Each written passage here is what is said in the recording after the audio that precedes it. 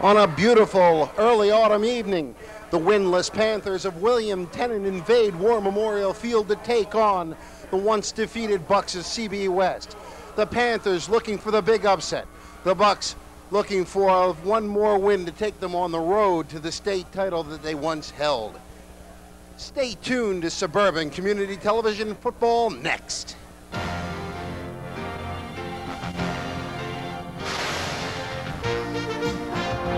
Pass, Riley's got a man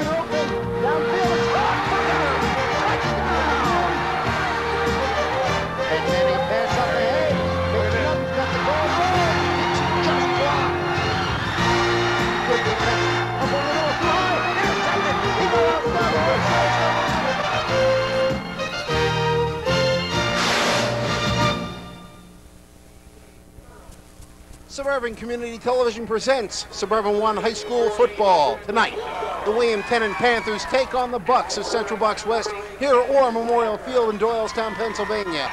Hello again, everyone. I'm Bob Friedman. Along with me, as always, my partner Tom White. Tom, two contrasting teams. William Tennent, of course, coming into the uh, game tonight 0-5, have not won a game yet, but a very spirited football team. And the Bucks, of course, stung by that one defeat to Norristown, came back and won big against Bensalem last week. A good Bensalem team, 27 to nothing. What do we look for tonight, Tommy? Well, with our uh, pregame show here, we got Villa Capri is going to sponsor this for us. We, uh, I look for Tennent to really be tough. They've really done a good job of uh, playing defense. They've lost two close games despite being 0-5. And we'll get back to the opening kickoff. Don't go away.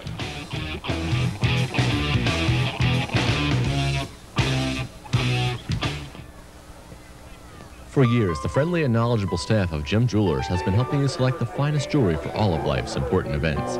Now, Gem Jewelers has moved both of their stores to one expanded location on Route 611 at Bristol Road. Inside, you'll find a spacious new showroom with one of the largest selections in the area. You'll find great values on their large selection of diamond engagement rings, watches, and designer jewelry. Their new line of porcelain figurines make great gifts, too. They do all of their own work, and a graduate gemologist is always on hand. So for all this and the same great prices, stop in at Gem Jewelers. The Callow Hill collection of country furniture is handmade in our own shop. We offer a wide variety of items available in a choice of five stains, five paints, or combinations thereof. And entertainment cabinets are a specialty. If you need yours taller, shorter, wider, deeper, then you should look into ours. See furniture for the way you live at prices you can live with. The Callow Hill Collection at the Dry Sink, Route 202, New Britain. Carousel Flowers. A beautiful shop. Filled with fresh flowers. Flowers that last. A single stem. A splendid arrangement. Straight from the heart. Carousel Flowers. A wedding bouquet. A basket of fruit. Plants of all kinds. Port Marion. Plush animals. Balloons. They show that you care. Carousel Flowers. A Doylestown landmark. On Route 202. A friendly shop. With local deliveries. FTD. Flowers for all seasons. Flowers for all reasons. Carousel Flowers. Choosing the right college is one of the most important decisions you'll ever make, and the right choice may be closer than you think. Delaware Valley College offers Bachelor of Science degrees in agriculture, business administration, computers, and science. Del features small class sizes and hands-on learning opportunities. Get involved in a multitude of activities or just have fun with new friends on Del picturesque campus. Delaware Valley College. For more information or a brochure, call 345-1500. There are lots of organizations working for the high quality of life our families enjoy here in Bucks County. I'm Sandy Spratt from Bucks County Bank. We're proud to be the bank that actively supports all these community groups, services, and institutions. Why does Bucks County Bank invest in all these community organizations? Because Bucks County is much more than our name. It's also our home.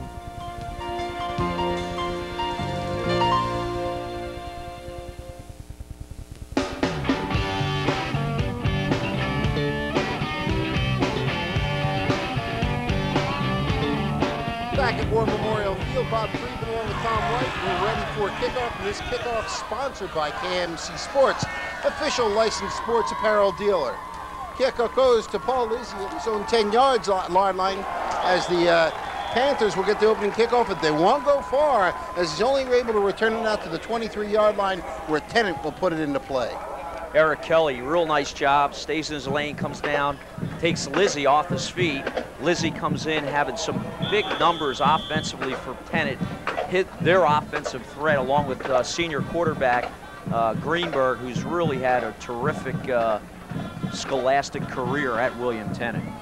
Backfield will be Kevin Greenberg, and the backs are in the eye as Julian Eichert is up front. Oh, excuse me, that's Lizzie. And that's carrying the ball is Paul Lizzie, and he'll get it out over the 25 to about the 27-yard line.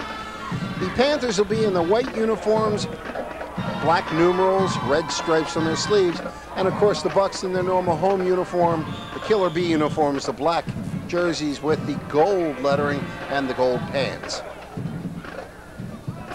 Gain of about three on the play, make it second down, seven yards to go. Greenberg, an excellent, as you mentioned, an experienced quarterback. Coming wide out to the right side, Jeff Overberger. Well, the backs are split behind Greenberg. There's a jump off sides. Now, I don't know if they were drawn or not. It could have been a long count, could have been a head bob.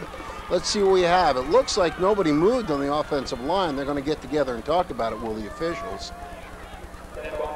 And it is offside on the Bucks, so it'll give them five more yards, make it second down, three yards to go. And these are the things that, that Mike Pettine's been talking about. His team, uncharacteristically this year, has been hurting themselves with penalties.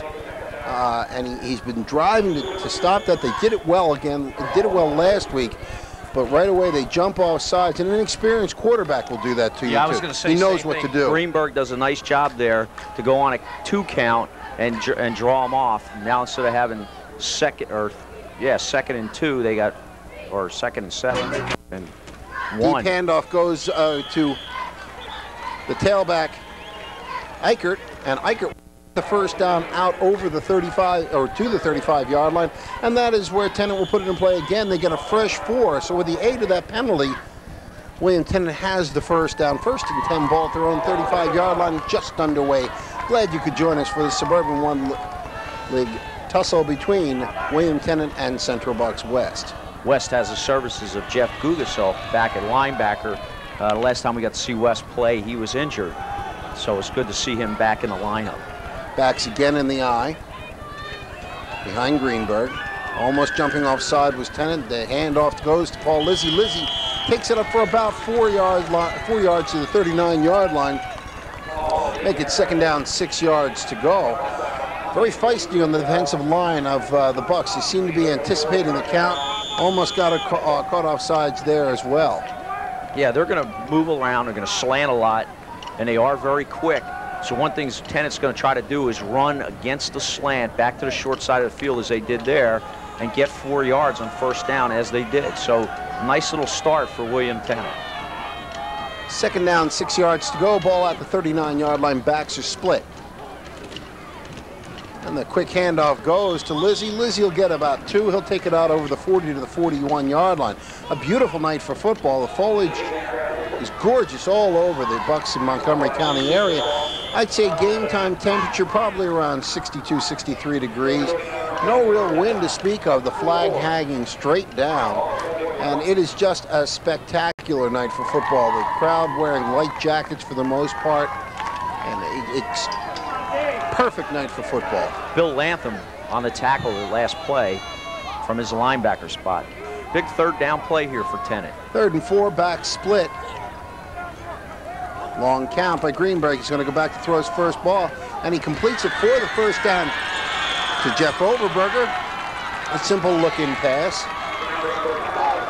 And Overberger comes in tonight, Bob. He's got a 12 receptions, 137 yards, about 10th in the in the in the area. So he goes to his number one guy and gets a first down. A nice little play, high percentage, and really does a nice job of getting it to him quick. First and 10 for Tennent. Now, Tennent has the senior uh, Greenberg quarterback. The other skill positions are a man mostly by underclassmen. Overberger uh, is a junior. And Lizzie is a junior, and uh, Eichert is also a junior, and it's Eichert who carries the ball. Julian Eichert, he'll get short yardage about two yards. So Tennent building for the future, taking their lumps a little bit this year. Uh, They also have, interestingly enough, Overberger is listed in the program as a quarterback. So you got to think that he may be a future quarterback on this team as well when uh, Greenberg leaves. Two-yard gain with 7.30 to go in the first quarter, no score. Tennent has the ball, first possession of the game, and they are now inside Buck territory at the 49-yard line. Backs in the eye, Overberger in motion, right to left. Pitch goes to Eichert. Oh, and he's smashed down on a great tackle by Todd Velitis. Velitis has been a force. I tell you, I was at the Abington uh, Abington game a couple weeks ago when they played uh, CB East, and I was talking to some of the different coaches who were there. Russ Mitchell, defensive coordinator, was talking about West, and we talked about some of the one of the great game that some of the uh, defensive people have had for the Bucks. He said Velitis is the best of them. Well, he's a big, strong kid. Really does a nice job from his end spot. Outside contained. Great burst into the backfield to take the back down for a big loss. All right, off the shotgun, back to pass. He's going to roll right with Greenberg. He throws across, looking for a man, and coming back nicely and making the catch, doing a great job of coming back on the play, was George Hernandez. Won't get much yardage, but he did what a receiver is taught to do. Really did a nice job. He's just running a little flat pattern. Williamson has him covered as the ball is approaching him. He takes a two and a half yard step to the ball and catches it, goes out of bounds. Doesn't get the first down, but it does a nice job. And you got to give Tennent credit. Two first downs on this first drive. They got a punt here and they got a bad snap. Bad snap, and it's going to be it's going to be uh, Central Bucks West ball. They they were trying to uh, fake punt. They were trying to uh, to snap it back to uh, Paul Lizzie, trying to catch him off guard, but they didn't. It was a bad snap. I don't think Livesey knew what the play was because it looked like the ball came back and hit him right in the middle, not expecting the ball. So maybe he wasn't aware that it was a fake punt. And nonetheless, West takes over. And that hurts because after those two first downs, they moved the ball. They would have had pretty good, put West back with a decent punt. Ben Snyder, a quarterback with the backs in the eye. And he'll hand it off to Billy Lowe. And Lowe gets six, seven yards on the carry. So the first offensive play, a good one for the Bucks. As they went over the left side of the line, they'll gain seven, make it second and three. Ran over right behind Billy Latham, number 66. You see it right there, coming right into your screen is Billy Lowe, and you see them carrying their blocks out well, making second down, three yards to go. Ball at the 42-yard line of Tennant. 5.40 to go first quarter, no score. Backs again in the eye. Snyder hands off to Lowe. Good seal on the left side. Gets close to the first down. Does Bill Lowe. He's going to probably have it. They may measure for it, but based on the spot, I would say he's got the first down. And they're going to move the sticks without a measurement. First down for CB West. Linebacker Brian Wolfgang, sophomore, comes up, makes a nice play, stops him for a little gain, but he does get enough for the first down. I'll tell you, that, that fake punt really hurt him because, Bob, they would have got a decent punt. They could have put West back in uh, some tough field position. And I think you're right. I don't, I don't know if he, he that he knew the play. It looked like he just wasn't ready for the snap. First and 10. Snyder rolling right to pass. He's chased. Hit as he throws. Got a man wide open down to the five-yard line. He's going to go in for the touchdown. Dave Roberts with a reception on the touchdown for CB West. And as he was hit, Snyder threw the ball. He put it right on the money. And we've seen Snyder get better and better as the season goes on. Last last time we saw him play, really did a nice job uh, getting the ball up the field. There he gets Roberts on the run while he's on the run, hits him in stride, and Roberts does a nice job of running it into the end zone after after the catch. So a 39-yard touchdown pass from Ben Snyder to Dave Roberts makes it 6-0 CB West. And now for the extra point, it'll be Jonathan Yencha. Snap good, placement good, kick up, and it's good. So, Yencha's extra point makes it seven to nothing. With 4.54 to go in the first quarter, it's the Bucks who hit with a lightning quick pass. Take the lead seven to nothing. Just a sprint rollout for Snyder. Tries to find Roberts, who's just running a slant right across the field. Gets a little bit behind the safety, and the two of them connect for a nice play. I'll tell you, he was almost hit by one of the Tennent. I believe it was uh, Andy Redlow was uh, coming up on him, but Snyder let it go and let it go with authority. Jeff Klein will kick off for CB West as they throw those balls up in the stands again.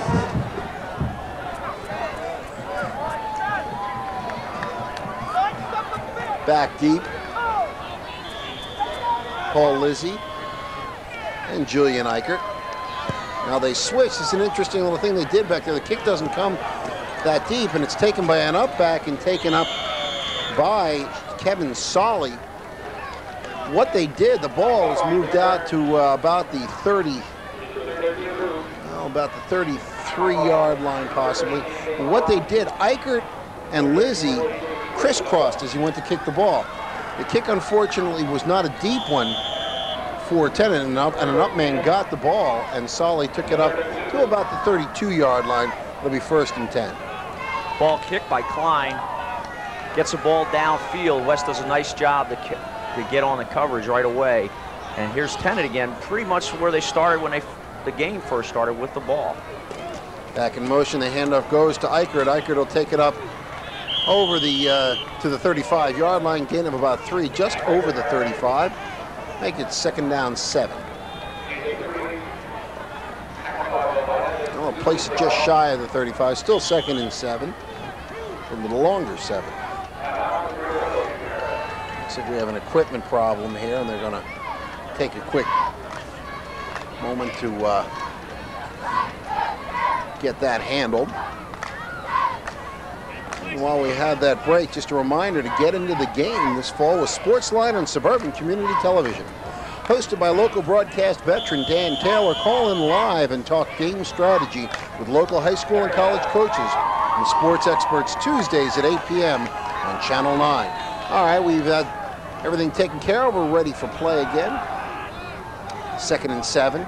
Greenberg pitches the ball to Eichert. They're stringing it out very well, and Eichert is not going to get outside.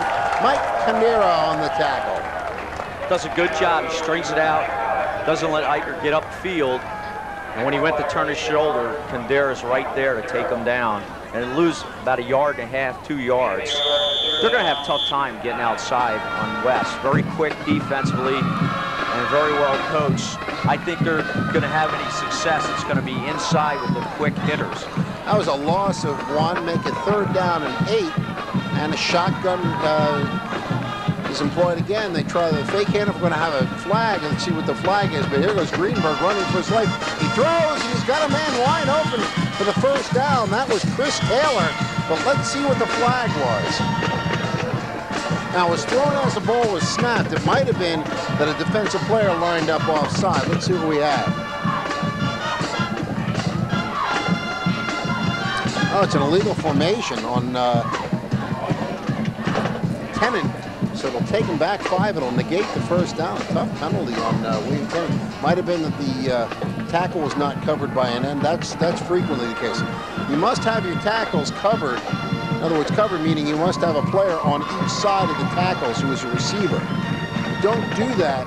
It's an illegal formation, and I believe we had a motion man there, and because of that, a tackle was not covered. I believe that may have been the situation. At any rate, it doesn't really matter. It's a five-yard penalty negating the first down. Instead of first and 10, it'll be third now and at about 13. Man in motion. Greenberg back to pass. Scrambles, hits a little pass right into the middle, and that's going to get the first down and a lot more. It's a foot race down the sideline. Finally bringing down, Bill Lohr brings down Kevin Katz, who made a little reception over the middle and goes a long, long way down to the 40-yard line of CB West. A nicely thrown ball. A good scrambling ability by Greenberg set it up. Yeah, Greenberg's really impressed me with his ability to move around in the pocket because West, the Lightus and company, has put some pressure on there. That's a little roll throwback pass where everybody's rolling to the to the left, and he throws it back to the guy going against the grain Katz, and he makes a nice run out of it after he catches in a big first down for Tennent. First and 10, the ball just outside the West 40-yard line. Handoff goes to Lizzie, and he's not going to get anything. The middle of that defensive line just smothered Paul Lizzie. So we'll make it second down and 10. Clock moving inside, 3.15 to go in the first quarter. 7-0 CB West on a 39-yard touchdown pass from Ben Snyder to Dave Roberts. And Tennent's going to have a tough time tonight, Bob, against that defensive line, which includes Adam Schmelzer, made the tackle there, Todd Velitis.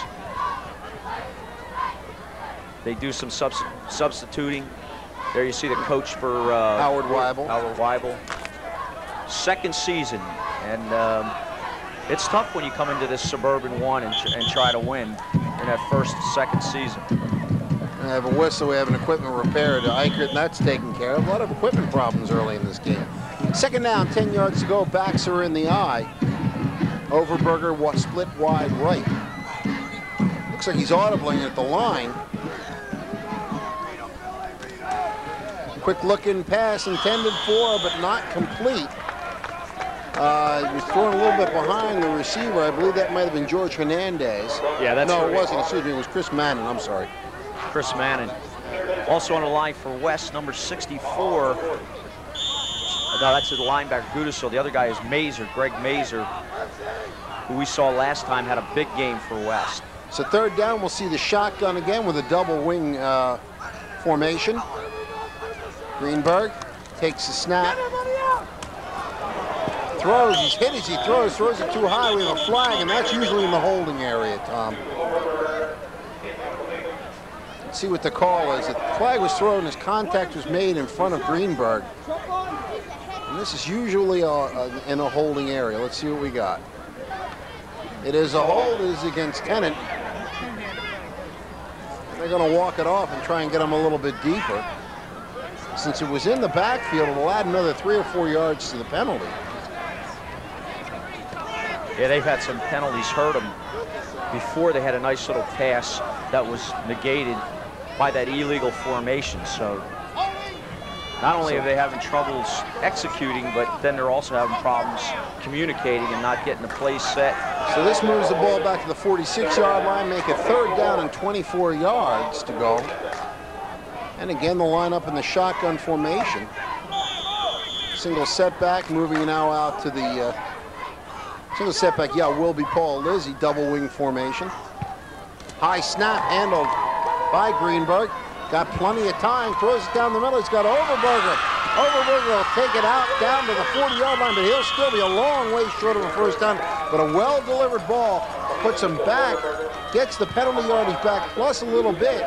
So that kind of might have backfired a little bit in uh, CBS space, simply because they got about three or four more yards than they would have had before. It would have been a punting situation from about the 43. Now it's a punt situation from the 40. You see the pass, an excellently thrown ball, and great protection for Greenberg. Now the snapback this time is very good and a high angling kick, fair catch signal for ball rolling towards the goal line. Can they keep it in? Yeah, they keep it in play. Oh, and that's going to give the Bucks tough field position as a great punt is down at about the three-yard line, and that's where CB West will take over. Yeah, Billy Lowe, you know, a lot of times you see a guy wave and then let the ball go. Whenever the ball's close to the 10-yard line, you probably want to catch the ball. There he opts to let it go, and it's a chance you take. He takes a chance, and Tennent gets a break. That was a well-kicked ball, too. It just sort of died there, and the, the coverage team got down there in time just before it rolled into the end zone.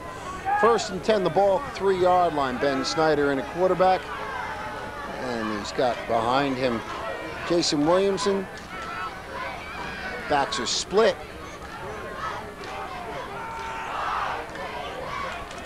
And the handoff goes to Jason Williamson, breaks through a little bit of a hole. No, excuse me, that's not Williamson. That's Jason. Gat- uh, that's uh, Jason Gattuso. Pump the legs, YMC! Oh, it was Williamson. Was Williamson, yeah. It's going to be a long night, Tom. Well, they got Mike Condera listed as one of the uh, wingbacks for uh, West tonight. He normally has played uh, split out or wide out. Tonight, uh, Pettine's got him playing that wingback spot. And Gattuso goes out on the right side. And Williamson is set back with Bill Lowe behind Ben Snyder after the six-yard game make it second and four ball at the nine-yard line. Snyder on a keeper. He'll take it out over the 10, the 15, the 20, breaks inside at the 25, and he's finally brought down at about the 32-yard line. Ben Snyder with a great run, great seal blocking, followed his blocks well. It's a 23-yard gain, and the Bucks are out from the shadow of the goalpost and then some. Condera makes a nice hook block on the end. Hennessy, good kick out block. Snyder runs right up between the two of them, and big game for West. And where they started down there on that one or two yard line now have plenty of room up over their 30 and in good shape. Well, there are eight seconds to go on the quarter. Let's see if they can get it off. Three, two, one, and the snap is just as the quarter ends. This will be the last play. Bill Lowe for a short gain, and that'll end the first quarter. The quarter that has seen a 39-yard touchdown pass from Ben Snyder to Dave Roberts. Kick was good. It's 7 to nothing. West leading. As our Doylestown Hero Card scoreboard shows the story, we'll be back for second quarter action right after these words.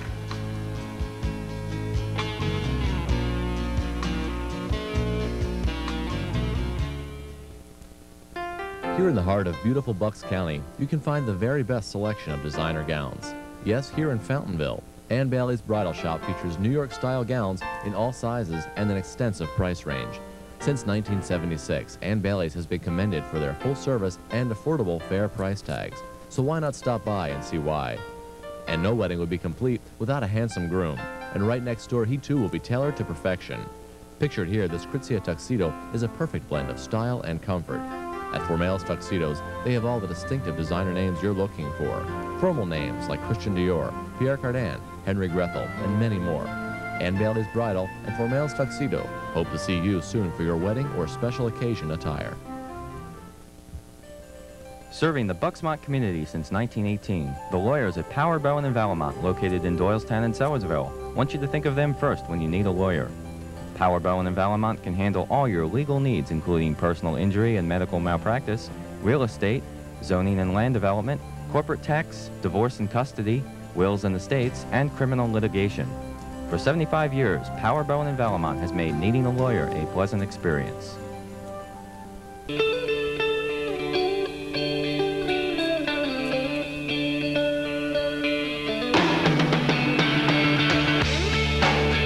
And we are back for second quarter action at War Memorial Field in Doylestown, Pennsylvania. Bob Friedman along with Tom White. The Bucks with the lead and the ball. Pitch goes back to Jason Williamson, cuts across the 40 to the 43-yard line, and that'll be a first down for CB West. Tackle on a play by 71 for Tennent. Now he lined up, Bob.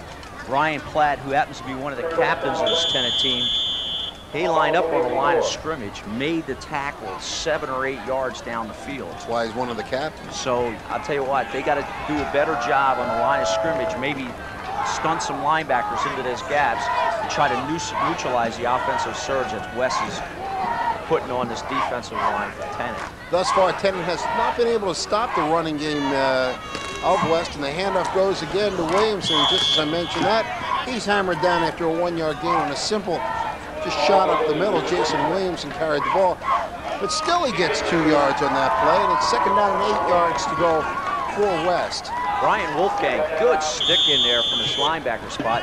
Tennent has a few sophomores playing tonight. Wolfgang is one of them. Also, you see uh, Greenberg, uh, who plays quarterback, is out there on the corner, has made a tackle or two tonight. So he's a guy who plays both ways, a senior, one of the leaders of the team. Backs a split, Bill Lowe and Jason Williamson behind quarterback Ben Snyder. Snyder goes straight back to pass. Under a rush, sets up the screen to low. Oh, and it's well set up. The 50, the 40, and down the 40-yard line goes Bill Lowe. And we're going to have a late hit. You're going to put 15 more on it. That was a spear. I'll tell you what, Number 14 for Tennent saved a touchdown, and that's Jeff Overberger. And number 35 for Tennent, Paul Lizzie, who we talked about his offensive skills. He does hit low very late, and they're going to get a 15-yard That 15 tacked onto it right there, and that'll take it down to the 25-yard line. The screen was perfectly set up. Let the line through, threw the ball to Lowe. Lowe went down, followed his blocks. If Overberger doesn't make that tackle, he is gone. Let's take a look at it one more time. You'll see it set up right, coming right at you. Here he comes. He come down here. If this tackle isn't made here, that's a touchdown. And then you see the late hit.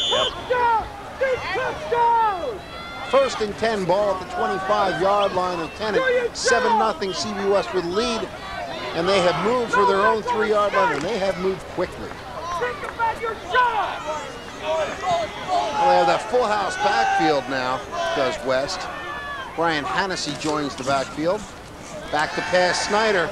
Looking deep, throwing shallow, and it's just overthrown, intended for Mike Kandera. We're going to have a penalty. Let's see, we have another hold.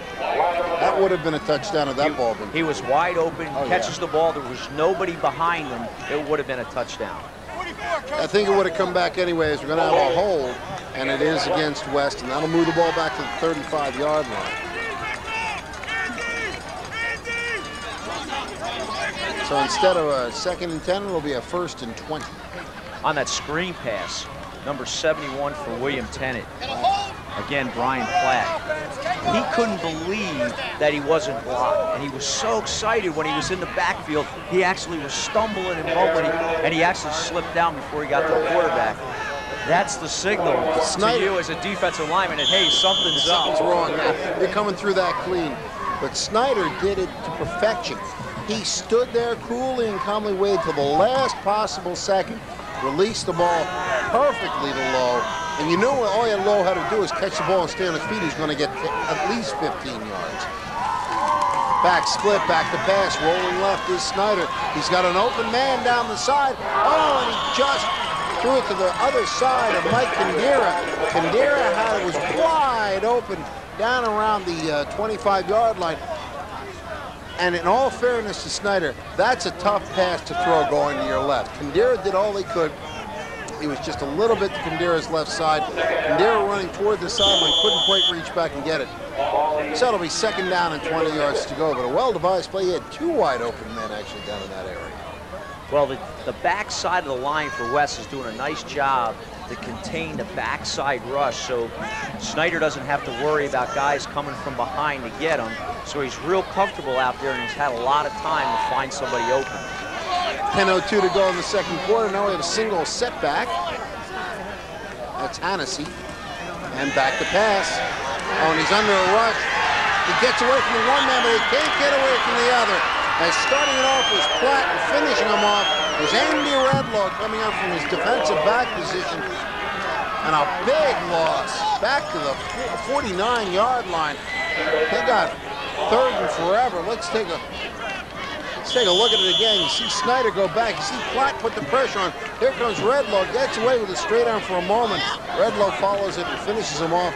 At actually the 50-yard line, and they got to get down to the 15. So now you got third and 35. Well, see, we were saying this earlier, Bob, that they had to send a linebacker. He's a linebacker. Blitz came right behind Platt and makes a nice play. Third down and 35. Pump fake. You Snyder throws short, hits his man for a short gain. It'll get it down closer. That's Dave Roberts on the reception. But it'll bring a fourth down up, and for the first time tonight, West will have to punt.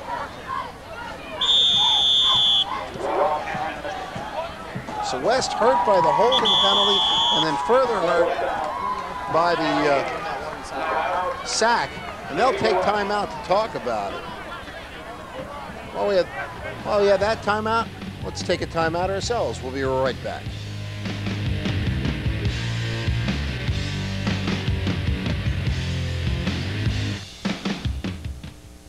Whether you're in the stands or on the field, Primetime Sports is your athletic headquarters. Locally owned and operated, they feature everything from team caps, tees, and sweats to replica NFL jerseys and official NFL game balls. Remember, when the game's on the line, it's prime time.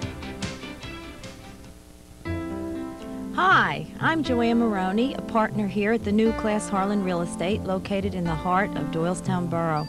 Our office at 15 West State Street used to be the livery stable for Doyle's Tavern, which is now known as the Mellon Bank.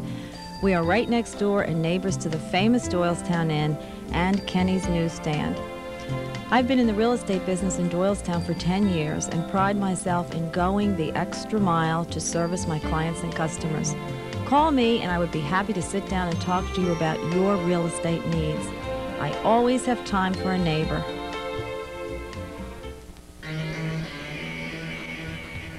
And we are back in action as the punt is a short one that bounces up. Oh, and it's going to take a great west bounce. I mean, a great west bounce down to the six-yard line. Ball kicked by Jason Gamble. Gamble got a short kick, but he got a great roll. Pooched it in there, and he gets it down to the six-yard line. So Jason Gamble with an excellent kick. That's what a punter is supposed to do. And that's tough because you don't want to kick it too hard and get it in the end zone. If you kick it too soft, a lot of times you kick it off the side of your foot and don't get enough of it. There he just gets the right amount. And Tennent, who's had trouble because of penalties of their own, now in some trouble field-wise with a tough Buck defense breathing. Now they have a full house backfield. And the handoff goes to Paul Lizzie, and Lizzie will take it out over the 10 to the 12 yard line as they had a backfield of Lizzie, Brian Wolfgang, and Julian Eichert. And that'll get them around six yards, make it second down, well, maybe closer to five, make it second and five. And you got to like Weibel's decision there. He puts an extra back in the backfield, runs a lead guy in the hole, tries to get that extra block, and it works out for him. Instead of getting a two-yard gain, he got six. So look for him to use that lead as opposed to just a straight hit into the line. Well, the ball moved out to the 12-yard line. Handoff goes to Lizzie again, and Lizzie will break up, and he'll get about two or three, get it out close to the 15-yard line. And that's a good that's a good play. I mean, that's good football. I mean, you're you're maybe size-wise, you're at a disadvantage, Tennent versus West. You got to put an extra guy in there and give somebody a whack on that linebacker. And Wolfgang's doing a nice job stepping in there and giving that little extra burst for Lizzie. And two plays, they've got what, eight and a half yards? Yeah, make a third down and a short two yards to go. Ball at the 15-yard line. Full house backfield again. West almost jumps off. The handoff goes Julian Eichert, and he's got the first down out over the 17 to about the 18-yard line.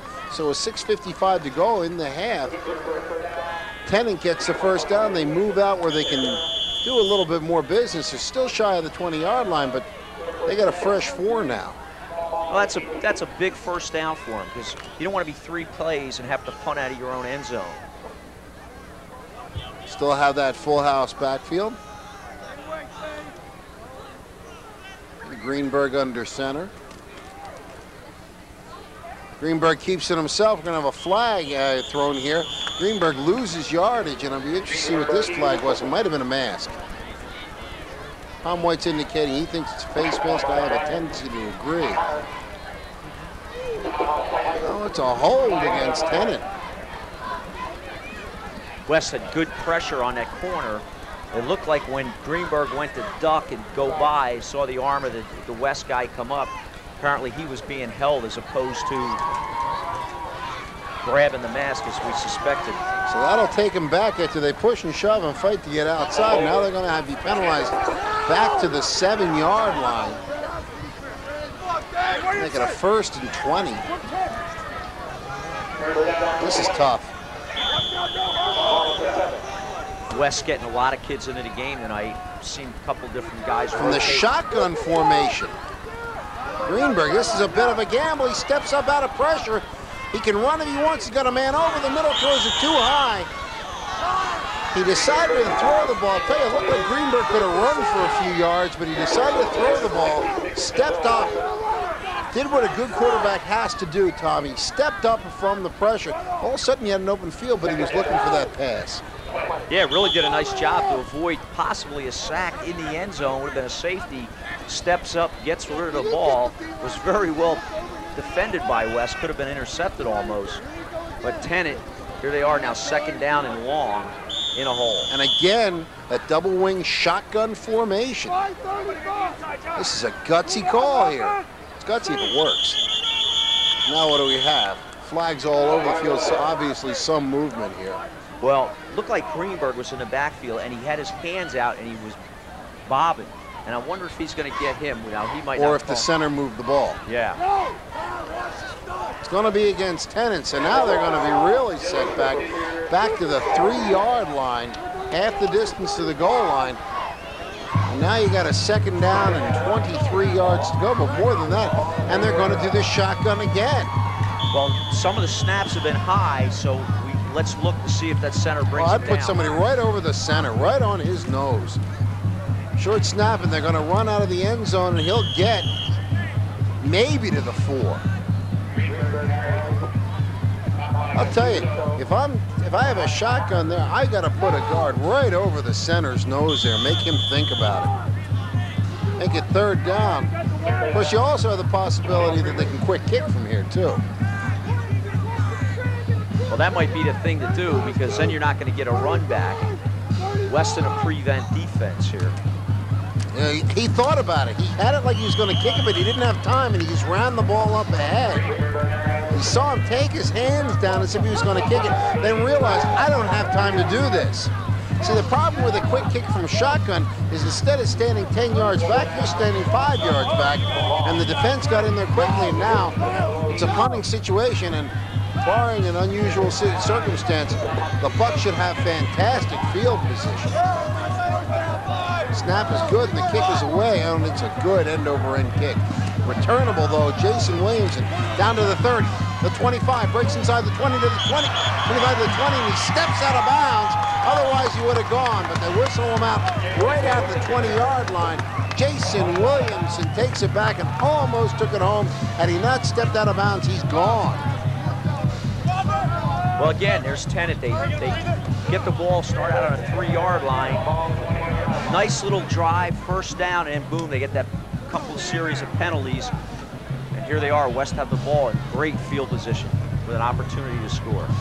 A reminder to join Delaware Valley College this fall and winter for Del Val Dialogue, featuring college president George F. West in an informal series of conversations with community and business leaders. The program is presented in conjunction with the college upcoming centennial celebration. Pitch goes to Billy Lowe. Billy Lowe to the 15, cuts outside of the 10. He's going to cut inside the 5 and brought down at the 3-yard line. Bill Lowe with a big run, and the Bucks are knocking at the door again.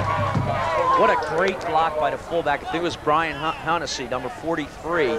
Really kicks out that end, and Billy Lowe ex- exploded past him. And a nice little move down to the goal line. Almost gets in for six. Ball marked four. By the way, on that Del Val dialogue, in case you're wondering, that's Wednesdays at 8 p.m. Delaware Valley College. A century completed, a century ahead. Correction, copy was misleading. It's Wednesdays at 7.30 p.m. So,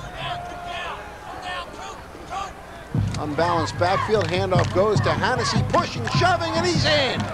I think he's in, let me put it that way. Looked like he might have broken the plane, but we're standing way out here. No, they're going to mark it down at about the one-inch line. So Hennessy got the ball and was stopped. Look at that, the nose right up against the goal line. Brian Hennessy with a carry just went behind a surge, line surge, great push surge by the offensive line. And it's a second and goal. Led by center Randy Overstreet. Also Bill Lamphin on the line for West, Gabe Serling, and also John Hubbaugh. Good line search tonight by the West offensive line. Backs are split. And the handoff goes to Hennessy, and it's a touchdown. There you go. So Brian Hennessy takes the ball in. It's 13 another with 4:11 to go in the half. That time they ran right behind tackle Mike Gimbel. Gimbel does a good block on his man. The back is able to fall right into the end zone. And West really, really dominating, I believe, on it, that offensive line. Tennant really having problems with the size. Yencha will uh, attempt the kick again, Jonathan Yencha. Out of Snyder's hold. Snap is low, and they're going to go for two, and he's got a wide open right side. He's going to run it in. I don't know if that was designed, but it was a low snap. Snyder picked the ball up. Look, he saw absolutely nobody on the right side of the line, and he took it in. So Snyder runs it in, and it's 15 to nothing. Well, usually what happens on that play is you give the quarterback the option if the ball is a bad snap. He'll pick the ball up and yell fire or some kind of buzzword and have some guy just run a little out in the end zone and usually you have someone to throw to. Nobody heard him because it looked like for a second there Snyder must have called something after he saw the snap, but nobody reacted to it and he said, hey man, I gotta run. He did a nice do job. It. He took and he took the look. There was absolutely you knew when he started running the ball, unless he fell down, there was no way they were going to stop him. So it's 15 to nothing, and Jeff Klein will tee it up again. Eicher along with Lizzie Deep. 4:11 to go in the half, and the Bucks have taken a 15 to nothing lead.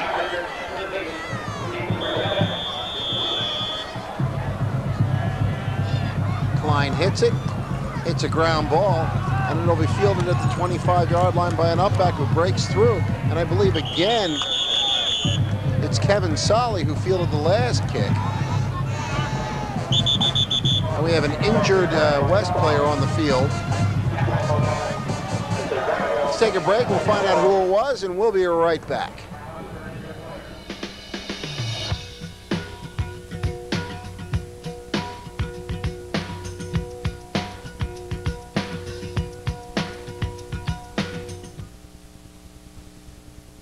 Remember the neighborhood tavern where you could relax with old friends and meet new ones as well? Cheesesteak Charlie's is that tavern. Now there's more of that friendly atmosphere than ever with a new, roomier decor complete with booths, a wraparound counter, and a separate pool table area. Sporting the biggest screen in town, Cheesesteak Charlie's is perfect for pro and college, Prism, and ESPN events. Hungry? The kitchen's open Monday through Saturday, 11 a.m. to 1 a.m., and Sundays, 12 to 12. And takeout is available. So why not check out Cheesesteak Charlie's new look and meet a new friend today? Repco has been the name to trust for all your foreign car part needs since 1976. Open Monday through Friday, 9 to 5.30, and Saturdays, 9 till 2 for your convenience. If we don't stock your part, we'll have it within two days. Repco, the name to trust for your foreign car.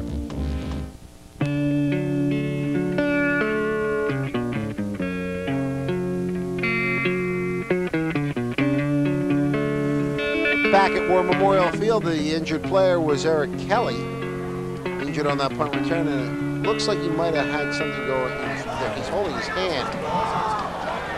He's being helped on, off by the medical staff, he seems to be all right now. From the shotgun again, Kevin Greenberg throws, hit as he throws, and oh, a great interception! An absolutely spectacular interception by Mike Kandera, throwing up and one-handing the ball. Greenberg threw the ball, was hit as he threw, had a man open, but he couldn't get everything on it. And I mean, Kandera just made an absolutely stellar play. Yeah, great defensive play. You see Kandera there. He's going to play both ways tonight. Steps in the offensive huddle. Good drop. Greenberg really forced the ball, tried to do a little bit too much, but as he was throwing, he really got dinged. And West does a nice job, get the ball back, and with uh, 3.54 to go in a half, have an opportunity to put some more points on the board. And no backfield. This is a pass. It looks like a passing, obviously looks like a passing situation. Absolutely no one in the backfield. Now there's motion. Bill Lowe, and he'll take the pitch. So they do run the ball. They spread it out, and Lowe will take it out to about the 33-yard line.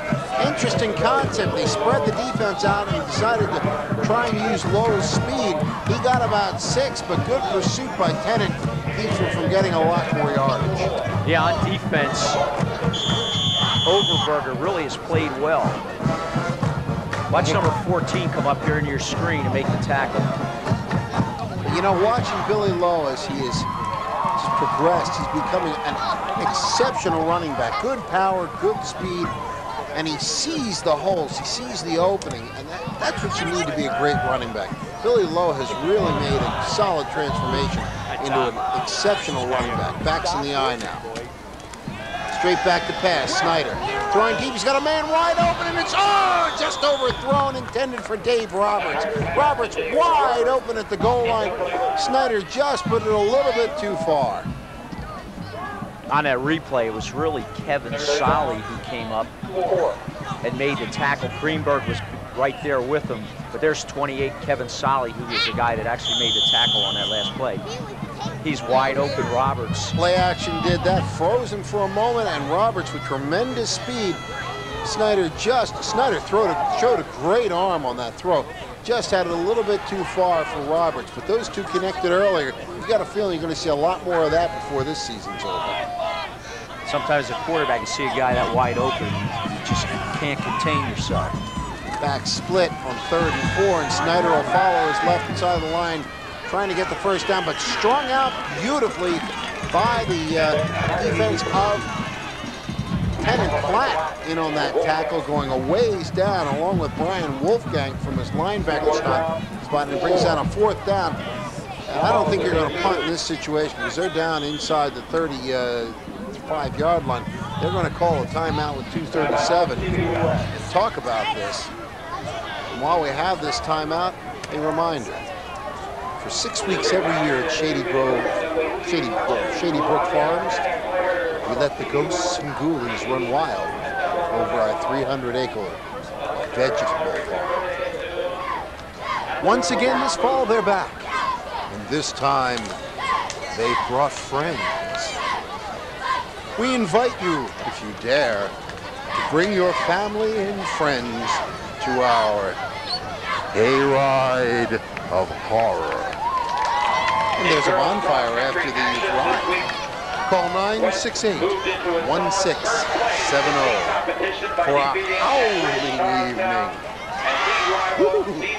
I'm scary enough, guys, without doing that. Anyway,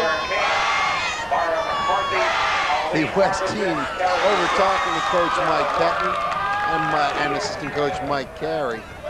Fourth down, about four yards to go. I think they're going to try something with a little spread out, spread it out a little bit. Well, you know what they love? They love that little flood pass where they send three or four guys the same side of the field, give the quarterback the option to run or throw. And generally, West is successful with it. All right, Roberts will split right. Single setback as He low splits left. Back to pass rolling. Looking, throws a little pass. It's going to be a first down and then some as catching the ball and then moving along for good yardage there. I believe. Let's see who we got on that catch there. I believe that's Todd Velitis. It is Todd Velitis coming from his tight end spot. So they showed some speed at the flanks and looked for Todd Velitis. Velitis caught the ball, gets the first down inside the 20. The sticks moves the ball at the 17-yard line now. Tell you what, Lizzie really 5'6", 145 pounds. He put a stick on Todd Velitis. You got to love it. Back to pass, Snyder looking right, rolling right. Throwing, he's got a man in the end zone, touchdown, Jason Williamson. Perfectly thrown ball, Ben Snyder. And Ben Snyder is becoming a big league quarterback, Tom. Well, he's really getting comfortable with with the offense where to give you the ability to really get out there, find yourself, comfortable place, feet. Does a nice job finding Williamson in the back of the end zone. You see Williams, Williamson there on the screen. He kind of got lost back there. Looked like he was covered for a second, and Snyder really did a good job of reading him and got the ball right between the two defenders. High snap to Yencha, and he pulls the ball left. In all fairness, the snap was high. It was a quick set down. Yencha just pulled it a little bit. Extra point, no good. It's 17 to nothing. But Snyder absolutely drilled that ball. I'm sorry. I'm saying 17 to nothing. I'll be all right. It's 22 to nothing. I had a score as being 15 to nothing. It's 50, no, it's 21 to nothing. 21 to nothing. It's 21. They had 22 up on the board. They must have thought that he had made the extra point, but we know better. The score, as we saw and we see there on the scoreboard, 21 21 to nothing. So don't be fooled, folks. It isn't 17 to nothing. It is 21 to nothing. We gave them the extra four points. At any rate, Jeff Klein will line the ball up to kick it off. Deep again, Julian Eichert and Paul Lizzie. Lizzie from a good sports family, a good wrestling family. The Lizzies have been well known through the area as excellent football players and wrestlers. Klein gets a nice foot into this one. Will get down to Eichert, who will take it out over the 25 to about the 30, outside the 30 to about the 33, 34 yard line. And Tennent will take over with exactly two minutes to go in the half. Well, you got to expect Greenberg's just going to go back into a shotgun formation, maybe send two or three guys out in a pattern and just try to move the ball up the field because they got to get some points on the board before half if they want to go into that locker room with some kind of momentum. And again, the shotgun formation. Greenberg with a single setback, double wing formation. Greenback, Greenberg avoids the rush and then can't avoid the rush. Is coming up to get him was Jason Gattuso from his linebacking spot. He had some protection. That's a coverage sack, Tom. There just was nobody open. Stepped up a moment, but Gattuso would not let him get outside, and it's a loss of about eight on the play. Make it second and 18. Clock still moving inside a minute 35 to go. Well, West has got a guy at 17 yards at safety, so it's going to be tough to get by him. Handoff underneath, and this isn't going to work either. As the handoff went, it could have worked, except it was just such a delayed handoff. There were three black shirts there. By the time uh, Lizzie got the ball, he'll lose another yard or two and make it third down, third down and close to 20 yards to go. The clock moving with a minute seven to go. And Gattuso there again on the stop. The Gattuso gang was there. There was two or three extra black shirts there in the backfield. Now Greenberg, he's going to let the clock run a little bit because he knows he's got a long way to go for the first down. He's got to watch. He doesn't have a whole lot of time left. Inside a minute to go, third down, he quick kicks. Quick kicks, and he's going to roll out of bounds at about the 50-yard. No, it stays in, and it stays into about the 47-yard line. So with 33 seconds to go in the half, a quick kick, and he left-footed the ball. It was a good kick. It was kicked it away from guy receiving the ball, so he's not going to get any return. That's smart. He didn't get the roll. It didn't go out of bounds. But he's going to give Ben Snyder the ball back with 33 seconds to go. And Ben's having a pretty good night throwing the ball. Well, Ben may try one pass. He may just, they might just hand the ball off uh, because they get the ball in the second half, opening the second half. Clock moving, 20 seconds to go in the first half, barring a pass or an incompletion. This should be the last play of the first half. Backs are in the eye. We have a penalty, and let's see what we got. Side judge calls that. May have had movement on the offensive line. Clock will stop with 14 seconds to go. It's offside. They lined up in the neutral zone. So they made, with 14 seconds to go, they may just try one bomb. That's what I'd do. I mean, 14 seconds to go. Snyder's been hot. Now, the thing is, if Tennent's smart, they're going to have a guy at 17 yards and hopefully not let anybody get behind him. So maybe what you got to try to do is run him off and then throw something underneath and hope the This guy is, can this bust is where it. I run my favorite play in the whole world. The hook and ladder. Hook and ladder. Oh, I love that play. 10 yard out to the tight end, pitch back to the back. And everybody drawn by. in, here comes the back right by. I saw that work against Penn State in the Sugar Bowl years ago by George at the end of a half. Now what they're saying, I think they want to put five more seconds on the clock. The clock was moving when they blew the whistle for the penalty, and they're coming up to the box, and they're coming up to the press box. The clock operator's right next to us, and they want to put five more seconds on the clock. There's 14 seconds to go in the half. Clock operator tonight is uh, Mr. Miller, who's done it almost They're not giving them the five. They're going to leave it nights. 14 seconds. Backs are in the eye. Snyder straight back to pass. He looks. He's gone deep. He's got Dave Roberts adjusting to the ball. Oh, he just couldn't quite come up with it. And there's eight seconds to go.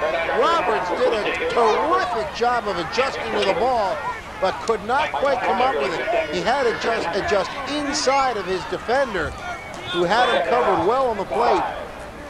That was Mike Flagler who was on Roberts. Roberts looked back, saw the ball, adjusted, but couldn't quite get to it. And that would have been a sensational play, so you got time for one more play. Yeah, there he just tries to air it out. Now you might see him try to throw something underneath and hope the guy can bust it. I think with a talent like Roberts, you just air it out for him again. He really adjusted beautifully to that. To that. Bill Low wide right, Roberts wide left, backs in the eye. Back to pass Snyder. He'll roll. He's being chased.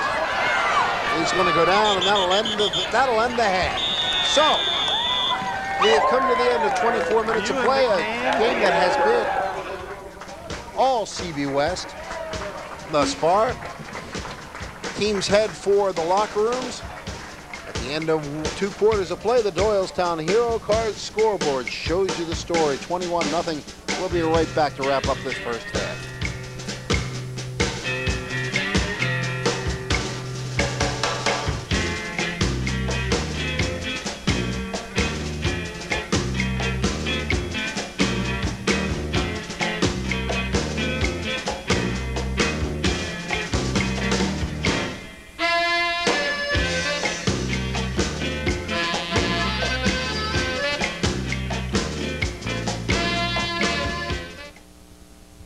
The uncertainty of today's real estate market, many would-be homebuyers have adopted a wait-and-see attitude.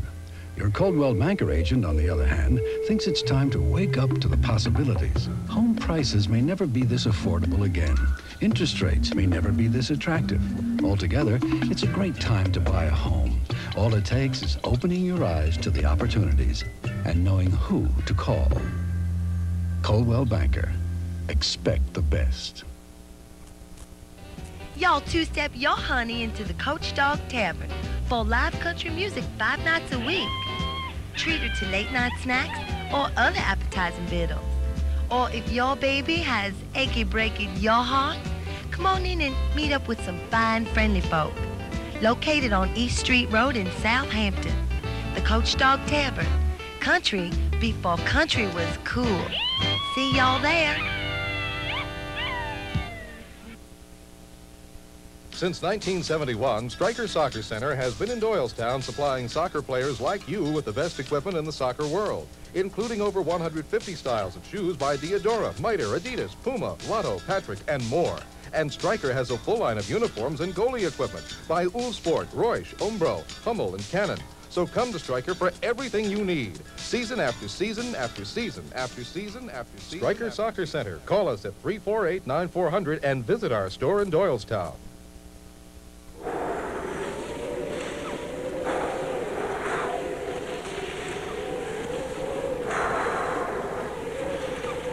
Furnace not heating like it used to? Get the Trane 2-stage 80 furnace with a low speed for mild conditions and a high speed for extreme cold. It heats your home evenly, efficiently, and quietly. It's hard to stop a Trane. See Elite Conditioning for all of your air conditioning and heating needs.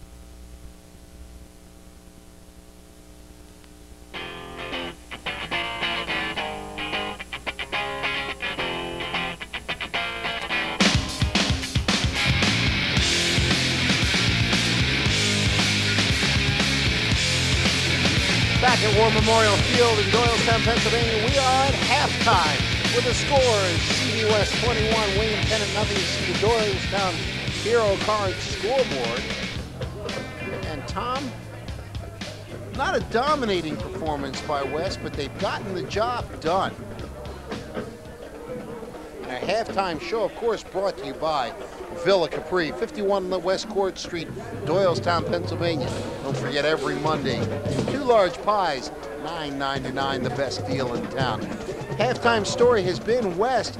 They've dominated on, they haven't dominated rather, but they've done the job as I mentioned. They, they passed the ball extremely well. They've run well. Tennent has not done badly. They've moved the ball well, but they've hurt themselves with penalties, and West has come up with a big play when they had to. Exactly. The start of the game, they get the ball in the opening kickoff. Two first downs to start off the game. You see their penalties, five for Tennent, three for CB West. But as we were saying, they get the ball to start the game, two first downs, then two penalties put them back, and they have to they have to kick the ball. And when they go to kick the ball, they're going to snap the ball or to, as a fake punt. And the guy that's supposed to get the ball doesn't realize he's supposed to get the ball, and West ends up getting the ball. Two plays later, they score, and you see there they had the ball from their own 23. Four plays, fake punt didn't work. Okay, on their, then they got on a 33, eight plays, punt. And you see punt, interception, punt. But in there were four penalties that really hurt them. Absolutely. As, as far as West is concerned, they've done a great job. They got the ball. The first quarter was 7:06 to go. After that, after that fake punt didn't work, it was Dave Roberts. You see CB West drive starting at their own 42-yard line. They got the ball. Dave Roberts, they moved down to the 39 where Dave Roberts caught a 39-yard touchdown pass from Ben Snyder. Yencha with the extra point, and it was 7 to nothing. Next possession got them nothing, but in the second quarter, they moved the ball down from the uh, 10 and 20 yard line. Moved it down to the one yard line where Brian Hennessy took it in for the touchdown. Snyder ran for the two points, made it 15 to nothing. As it looked like a low snap, it might not have been a devised play, but it worked perfectly for them. Then after the great interception by Kandira, they moved down uh, from the 38 yard line in five plays. The final play, a gorgeous 17-yard pass from Ben Snyder to Jason Williamson, and that made it 21 to nothing. The extra point attempt was wide left. That's where we stand right now. For the second half, Tom, Tennent's got their work cut out for them. It's not only they, they trail by 21 points, they have to kick the ball away. Yeah, they got to not hurt themselves with penalties. Try to do a little bit more on defense in terms of taking the run and the big play away from West. And at the same time, maybe get West to make some mistakes that they can take and make opportunities at them for themselves and try to make points. Because right now down 21 nothing. They need a bunch to get back. So there you have it. We've completed the first half of play. The william tennent marching band entertaining the cb west crowd here a happy cb west crowd. We are at halftime. It's 21-0. the bucks leading the panthers. We'll take a break and we'll be back for the third quarter kickoff. Don't go away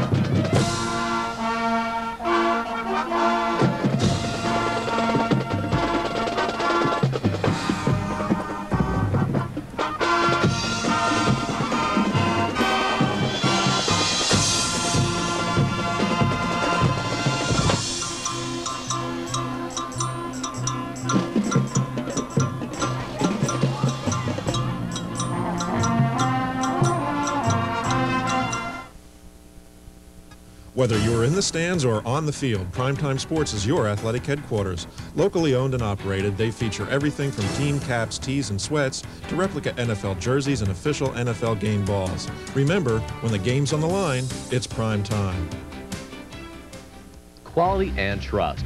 Using these guidelines, Suburban Auto Works is committed to repairing your car or truck to your satisfaction. With 24-hour towing and full-service collision center, Suburban Auto Works certified mechanics are qualified for any repair, including complex unibody repairs.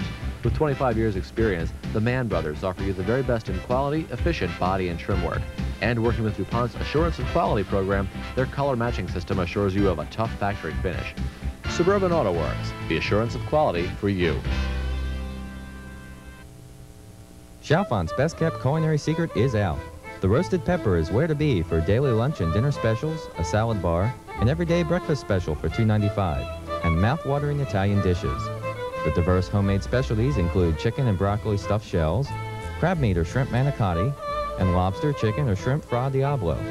A children's menu is also available, so before or after the game, do your appetite a favor and visit the Roasted Pepper. Where to go for the area's hottest entertainment, great food at great prices, and a happening new game room? The Amber Inn, of course. You've got to check out their new 52-inch jumbo screen for Phillies and Eagles games, and don't forget their awesome after-work parties on Thursdays. Be a part of the in crowd. The Amber Inn.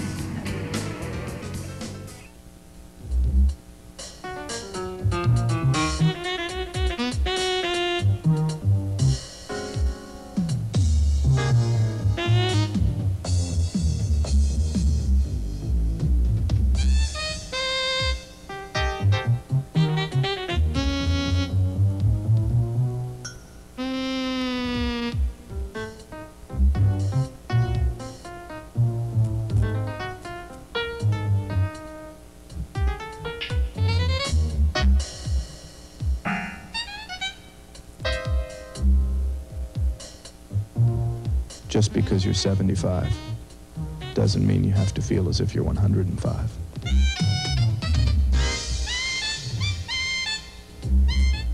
Delcrest, delivering customer satisfaction for over 25 years.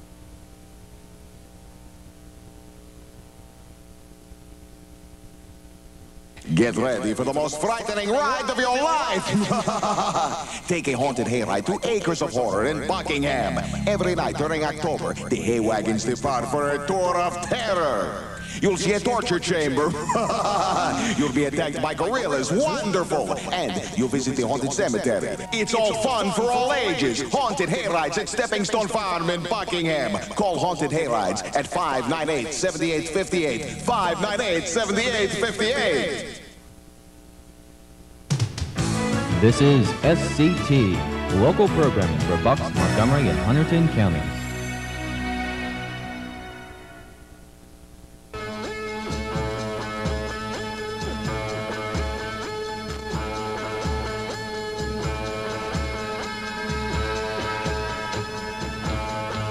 Have returned to the field from the halftime exercises, and we see the Doylestown Hero Card scoreboard.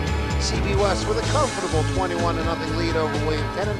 Bob Friedman, along with Tom White, glad you could join us for the Suburban One League tussle here at War Memorial Field in Doylestown, Pennsylvania. Tom's starting to get a little nippy outside. Temperatures dropped, I'd say, down uh, to about 50 degrees. Still no breeze, but West as we mentioned just before halftime, West doing an excellent job jumping out to that 21 0 lead. And to make matters worse for uh, Howard Weibel's William Tennent Panthers, they have to kick the ball away in the second half.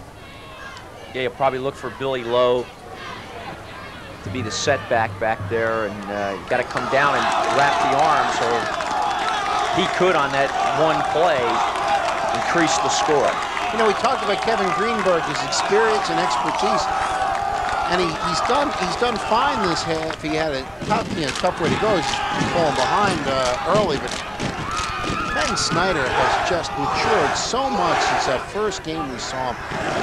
He's throwing with authority. He's finding the open receiver, and you may have you may have a find here also in Dave Roberts. It's it's a good passing combination. Of course, you always have Mike Kandira, who's a solid receiver too, but Roberts and Snyder, both juniors, you look for that combination to hook up for a lot of passes over the next season and a half, barring any unforeseen injuries so forth. There you see Howard Weibel, head coach at uh, Tennent High School. William Tennent, of course, located in Warminster, Pennsylvania. And it's just, you, you see players develop, a Billy Lowe, a Ben Snyder, a Dave Roberts. We saw Mike Kandira uh, develop last year and the year before. We saw the, uh, the, the, development and, and, and football growth of uh, Matt Sonsini when he was a sophomore to when he was a senior. And it, it's what high school football is all about. The players grow with the program. They maybe don't go on to play college ball. A lot of them don't go on and play college ball, this is it for them. This is the best of all football, high school football, because they're playing it for nothing more than the joy and the love of the game, for the most part. The coaches are to be commended, Mike Pettine, uh, Howard Weibel, John Quinn of East, uh, Steve Curley of Quakertown, and uh, all the coaches. I, I, don't mention Bill Travers, of course, in North Penn. And I, you know, I don't mention all the coaches, but every coach. They're teachers, they're coaches, they do a great job. And now I've said my little piece. We're ready for the kickoff. And this second half kickoff sponsored by KMC Sports, the official licensed sports apparel dealer.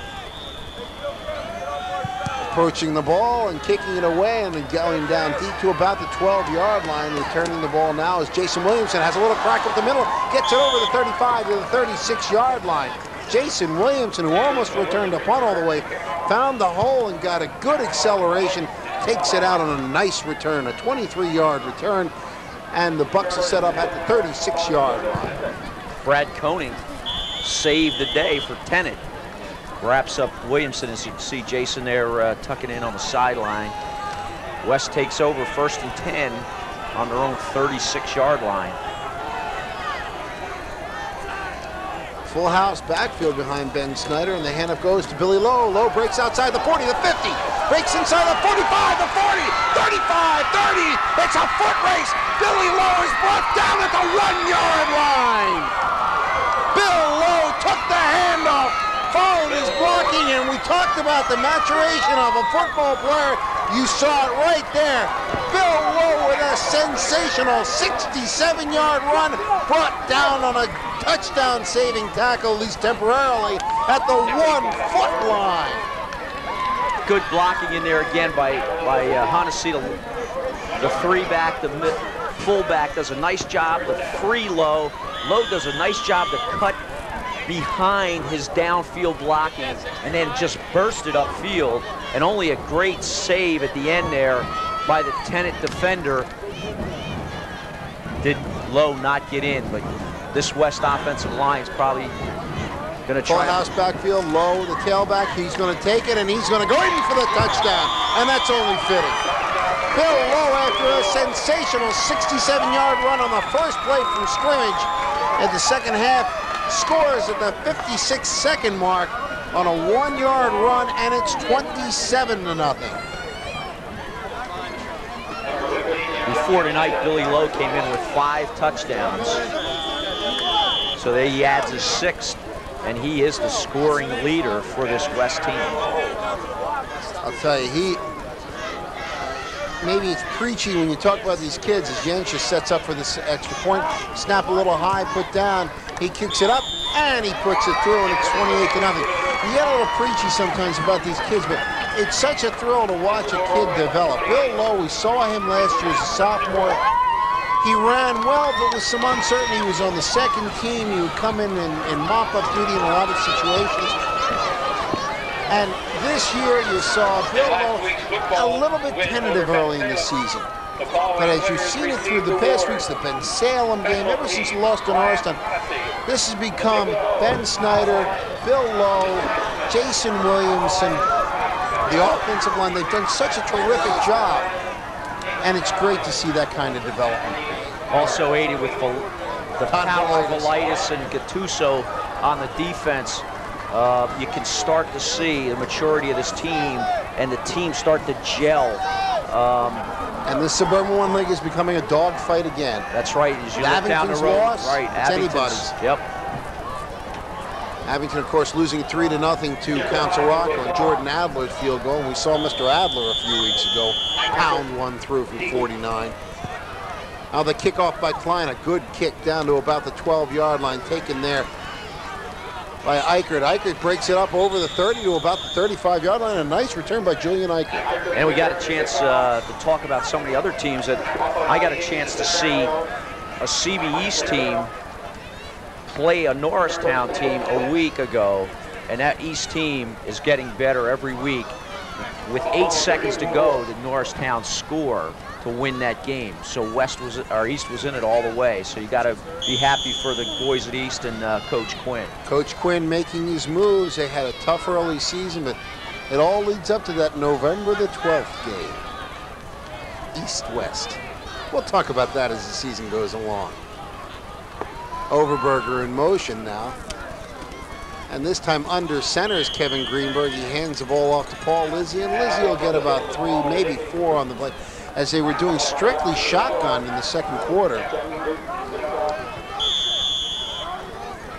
Coach Carey getting some of the younger players in. And what he's doing is he's putting one or two kids in with the other nine experienced player. There's Kevin McCaskill, number 86 on the tackle. Also in there playing some in the first half was Brian Connor. He's a 6'3", 170-pound sophomore playing defensive end for the Bucks tonight. Second down, six yards to go. Overberger again in motion back, split Eichert and Lizzie. Back to pass goes Greenberg. He's gone deep. Covered well on the play was the uh, intended receiver. That was Kevin Katz. And he was covered very well on the play. Let's see who had that coverage. Billy Lowe was back there, but I believe that was Jason Williamson on the coverage. Yeah, the future looks good for West, and the future looks good for Central Bucks football. We'll talk about that in a little bit. as their feeder school's doing extremely well this year. We'll talk about that after this play. Shotgun formation, third down, six yards to go. Single setback is Lizzie. Double wing. It's a snap. Little crisscross action, sideline pass. Too long intended for Chris Taylor. Make it a fourth down. We have a flag? Yeah, we have a flag down. I'll tell you what, the official's going to get Dave Roberts for, I think, a late hit. But I don't believe it's a late hit. It's clean. He hit him uh, square, wasn't trying to hit him when he was down. But I believe the official's going to get him here for a late hit because after the pass sailed over his head, he hit him. And you got to teach your defensive backs to do that because sometimes it's the only means you have against a good quarterback like Greenberg is to try to intimidate the receivers. Uh, yeah, to a degree. That pass was a little bit wide, so it's, it's, it's a tough judgment call. But it's a personal foul. We'll take a look at the replay here. No, I decided let's not take a look at the replay, Tom. It just was too... Oh, all right, we'll take a look at the replay. What the hell? Now, that was... That's a tough call. that's a tough call. that's incidental contact. Only be... Maybe you may call it because the arms came out in a push motion, but at any rate, it's a first and 10 ball now inside Buck territory at the 47-yard line. And in shotgun again is Kevin Greenberg rolling to his left. He's going to run the ball. It's to the 45, and he's knocked out of bounds at about the 41-yard line. Let's talk about the future of Central Bucks football. The feeder school's doing extremely well. Well, the last two years, a school in uh, the Warwick, Jamison area, Tamanend, had been undefeated for two years. They've had a change there, coaching and haven't done as well. But let's talk about the three teams, Lenape, Holicong, and UNAMI, all within the Central Bucks School District all winning today and all 4-0. And as I understand it, Lenape and UNAMI play next week, both teams being undefeated. So coaches from both schools got to be happy with what's coming up. Uh, semi-screen, and ah, it could have worked for a lot more yardage except for some excellent defensive play by Jeff Gudisell. Yeah, they're happy to have Gudisell back. Plays that middle linebacker spot, does a good job to chug all the way out there to the sideline and wrap the arms before the back is able to get a first down. But third and three, third and long two for Tennent, probably their best opportunity we've seen them have all night. Paul Lizzie on that catch and run. And it'll be a third down, two yards to go, as you mentioned. Shotgun formation. Straight up quarterback draw. That's not going to do it. He's going to be caught short of the first down. You got to think at this point they'll go for the first down here. Well, see, I could see maybe doing that in a longer situation where they're expecting a pass. But when you, if you're in a quarterback keep and you only need three yards, maybe you want to get right up under the center and and. Well, I was going to say quarterback keep you don't do from the shotgun formation. You do it you do it under the center. You step back a yard, maybe draw the defense, and then follow it up the middle. But that was the call. Now they're going to measure for this, but it looks like they're a good half yard shy of that first down. Now it looks like he sent so punt team in, but I can't believe he's not going to go for it here. This is the best field position Tennent's had all night. At least since early in the first quarter, when they moved over the midfield line. They're very close to the first down. You see how far they're about half the length of the football for the first down. You got to think they're going to go for it. I, I, I can't believe the coach Weibel would just give up the opportunity here. And they're not. They're, they're going to go for it as uh, Greenberg comes back into the game. Now Greenberg will probably go under center on this one, I certainly would think. And he does. He's got a, he's got that full house backfield again. Let's see if Paul Lizzie gets it. He's a power back. Or if he calls his own number, Greenberg. Calls his own number and he's got the first down. Just a simple push behind the line, is uh, behind the offensive line, get a little bit of a push, and he's got that half yard. Suddenly move the sticks and get a fresh four with 8.35 to go in the third quarter. 28 to nothing, CB West leading William Tennent. And even with a comfortable lead for West at 28 nothing, the penalty hurt them after some good defense. What was what they called a late hit now gives uh, Tennent a first down after that quarterback keep by Greenberg. Chris Taylor in motion, back to pass from the shotgun formation. Greenberg avoids a rush. He throws it just before he goes out of bounds. He throws the ball away. He was uh, being chased there by Todd Velitis mentioned his name on more than one occasion. He does a good job. He, he'll play either down and sometimes up from his defensive end spot. In the in the game, you see uh, Bill Laffin, number 66, out Ralph Castillo, 42. West going with a more experienced group here on third and 10. Actually, second and 10. Second and 10, excuse me. So second and 10, the ball down at the 36-yard line. And almost, yeah, he did jump off sides. Jason Gattuso trying to get that early jump, jumps off side, so now make it second and five. Ball moved down to the 31. Coach Mike Carey not, not happy with that, but that's, you're anticipating the snap. You got a guy in a shotgun formation. He's coming in on that blitz. Why not? Now what happens is when you go off sides, the coach sends somebody else in for you as he does there. Gattuso, who is one of the captains, they don't put up with that as I see Pettine giving him an earful right now. In to replace him is Brian Connor, who has seen a lot of action tonight. Oh, but made North Penn's night miserable a few weeks ago. Excellent defender, one of the best. Shotgun formation, and now under a rush, and Velitis has got him. You want a reason that offenses don't like to play CB West? Let's let's call it the Velitis Gattuso and also Goodisell show. Oh, Velitis all over him. I'll tell you, he was on.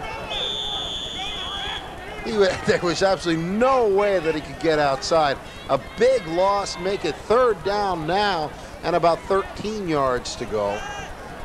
So they get that penalty yardage back and then some.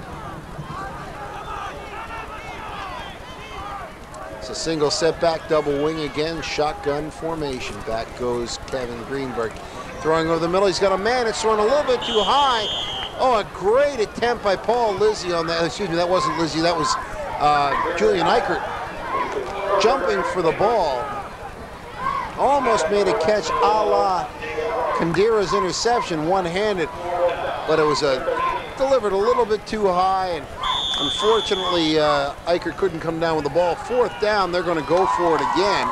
The interesting thing was at the end of the play, the safety coming up was Dave Roberts. That time he didn't hit him, a la the intimidation by the ref. Fourth and 13 ball at the 38-yard line. Back to pass. He's under a rush. He gets it away, throws it up the middle. Intercepted by Dave Roberts. Cuts to the right. He's over the 35, the 40, up to the 45-yard line. He's going to be knocked out of bounds by Greenberg at the 49, 48-yard line.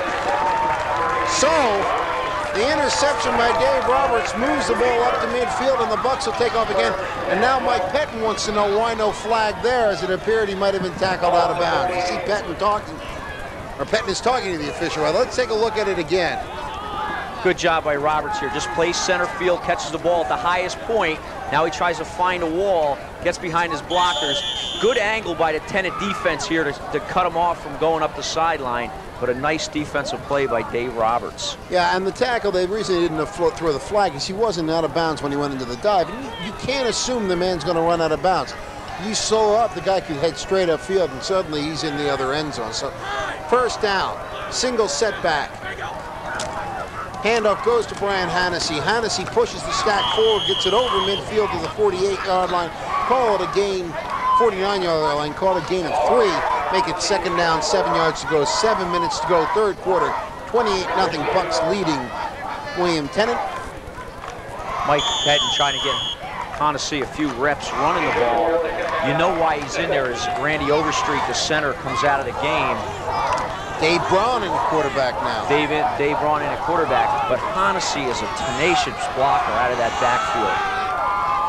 Ben Snyder just getting a rest. He has a 28-point lead. Wants to give Braun some uh, some time, and Braun throws a hard pass, a little bit high for Gattuso, but I'm sure if you asked Jason, he would have said he should have caught the ball.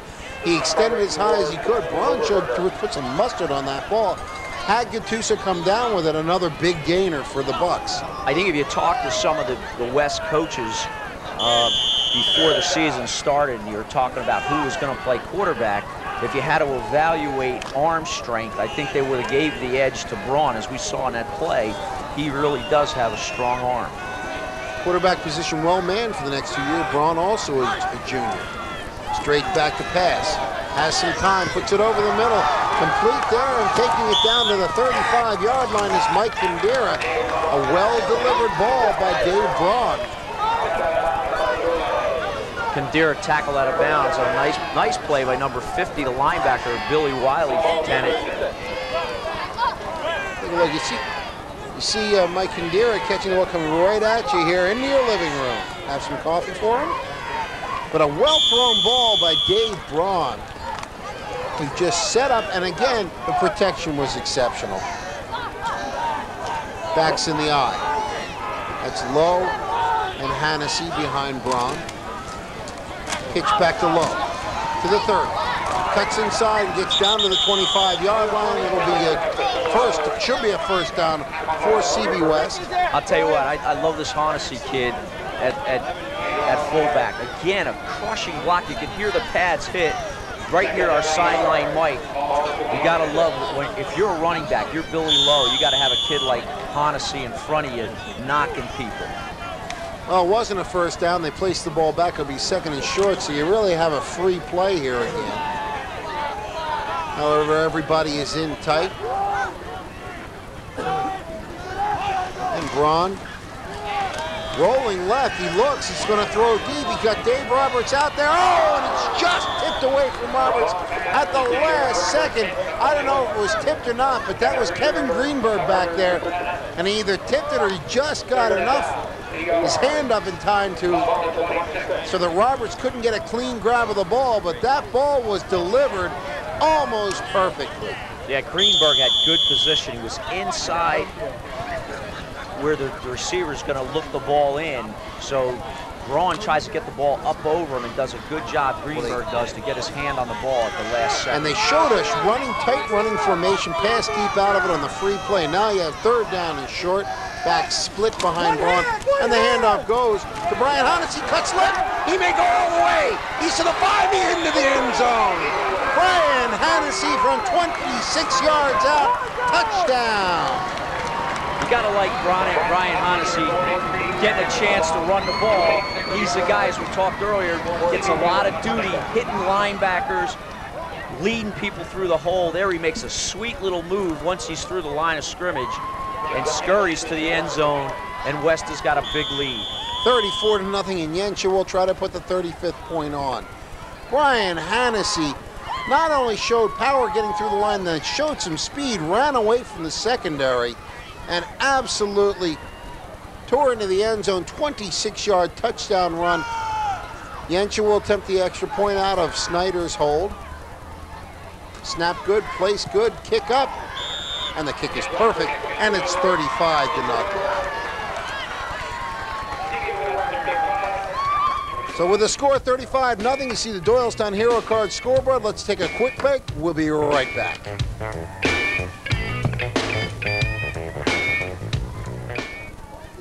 Prepared the slightest bit improperly, a dish of blowfish can be lethal. At Cote & Company, we like to think of any ill-prepared dish as tragic, which is why we carry all the things you need to do it right. Gunpowder mustard and olive spread, and pink peppercorns and garlic stuffed olives, and an exotic selection of goat cheeses and practically everything you need to make all your dishes to die for. Cote & Company, now serving prepared meals to go. Please call for business hours at 340-COTE. And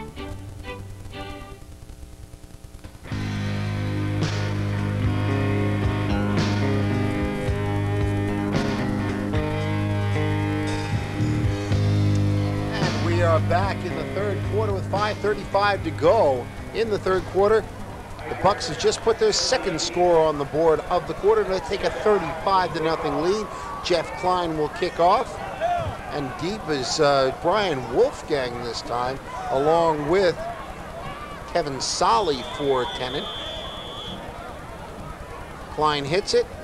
It's a line drive squibber. It's going to be taken by an up back at the 25-yard line. They'll get it out to about the 40, and that may have been Julian Eichert on, the, on that uh, catch and run. It was. So Tennent will take over at their own 36-yard line. They've had fairly good field position in the second, the second half, but haven't been able to do anything about it. Good tackle by Drew Kelly. Jr. comes down, stays in his lane. The back really exploded upfield. Kelly stopped him in his tracks. Nice tackle by Drew Kelly. Special teamer, guard, defensive lineman, 11th grader, 5'10", 180 pounds. Good job.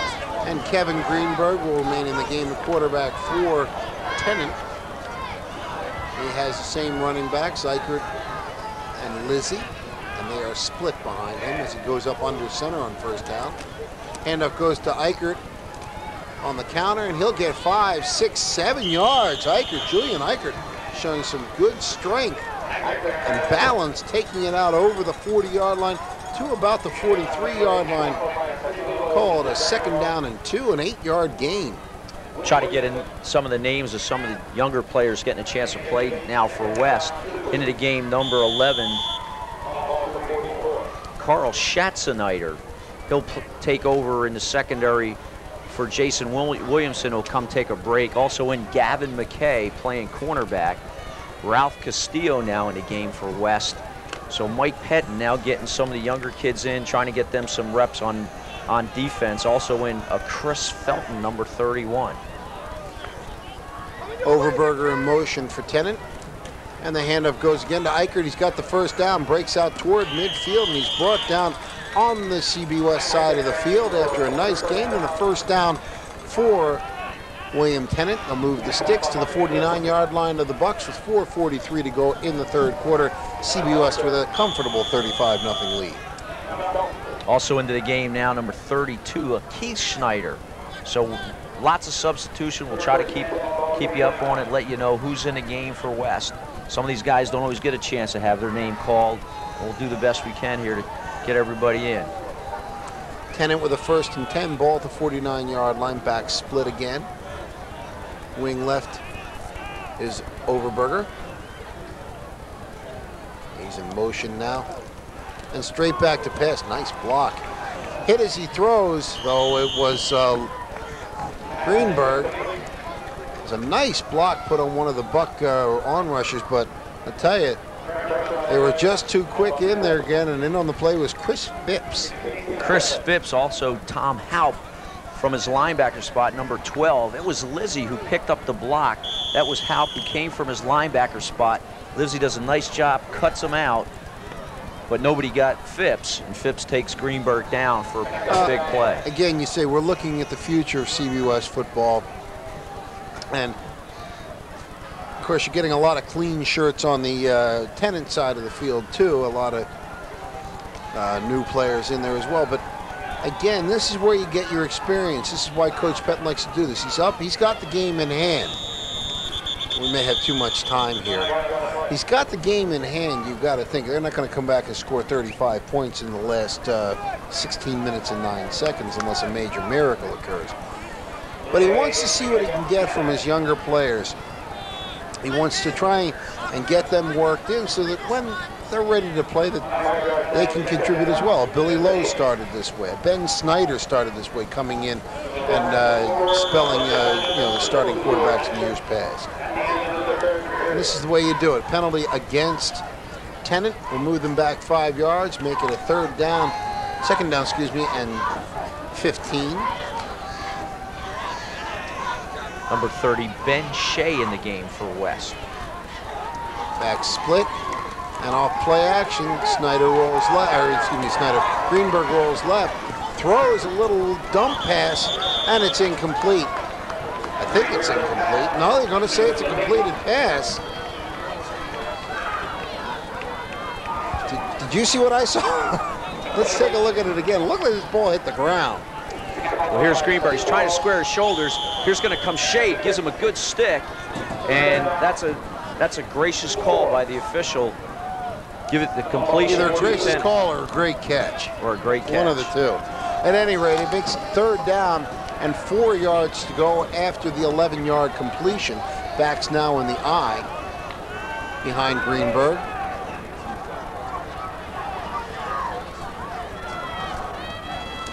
Back to pass off a short drop. Now rolling out, trying to get outside, and Phipps has got him again. Chris Phipps making a name for himself, 6'3", 185, only a sophomore. I get a feeling we're going to hear from him uh, a lot in the future. Well, this could be an all-sophomore team. You had uh, Schatzenreiter out there. You had Haupt out there. He's a 10th grader. Schatzenreiter, Haupt. Phipps is a, Phipps. is a 10th grader. So they got a bunch of guys out there now that are fifth, or excuse me, 10th graders. Um, as you said, the future of CB West. Single safety on fourth down as a ball is punted away. I didn't mention today that the punter will get this return here. As coming up and taking it was Carl Schatzenreiter. Didn't mention the punter because Tom Clancy, also one of their tri-captains on Tennent, has done a real good job in this game as well. He had one real good punt in the second quarter where he pinned West down on the three-yard line. It was a beautiful punt. And West will take over. Tom Haupt now into the game. Dave Braun, a quarterback. It's hard to tell in the clean jersey when you have black shirts, but you see the numbers roughly. Greg Emmons uh, comes into the game. Now Haupt wants to call a quick timeout. And while we had the timeout, a reminder to get into the game this fall was Sportsline on Suburban Community Television. Hosted by local broadcast veteran, Dan Taylor, call in live and talk game strategy with local high school and college coaches and sports experts. Tuesdays at 8 p.m. on Channel 9. Also remember to join Delaware Valley College this fall and winter for Del Val Dialogue, featuring College President George F. West in an informal series of conversations with community and business leaders. The program is presented in conjunction with the college's upcoming Centennial celebration. That's Wednesdays at 7.30 p.m. Delaware Valley College, a century completed, a century ahead. Well, they had the chance to talk. They get the ball back. Dave Braun wanted to talk it over. They got a lot of underclassmen, as you mentioned. And just a reminder, the VHS uh, copies of these and all other suburban community television sporting events are available. Call 345-5154 Monday through Friday between 9 a.m. and 5, 5 p.m. Handoff, the pitch goes out to Ben Shea, who's in the game. Shea, a 5'8", 160-pound senior, and he'll lose a yard on the play. So they've got they've got some guys in there who do the yeoman's work. They'll they're the foreign team during the week. They'll take the job of they the Dave Braun during the week takes the job of being Kevin Greenberg. Shea takes the job of being Julian Eichert, and that's why Bucks do such a great job because they they all work together. And the handoff goes to Haupt. He'll get a little bit of yardage. You know what I? There's another interesting thing in this game. There have been no fumbles and only one intercept, two intercepted passes. And a very remarkably clean game as far as carrying the ball is concerned. Gain of four on the play, make a third down, seven yards to go. The ball at the 31-yard line. Backs are in the eye. Man in motion. It's Greg Emmons. Pitch goes back to Schatzenreiter. He breaks outside, takes it over the 20, the 35 to the 36-yard line. Will be short of the first down. Carl Schatzenreiter, 5'9", 170-pound sophomore. Kind of a scat back type player. And it's fourth and two. It looks like they're going to go for it from here.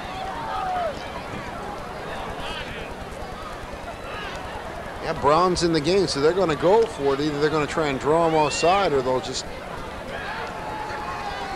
go straight ahead. Fourth and actually about one. Full house backfield. And the handoff goes to Haupt, and he looks like he's got it. Yeah, he's got it by the spot. First down as Haupt gets the first down. It's Tom Haupt, 5'11", 175-pound sophomore.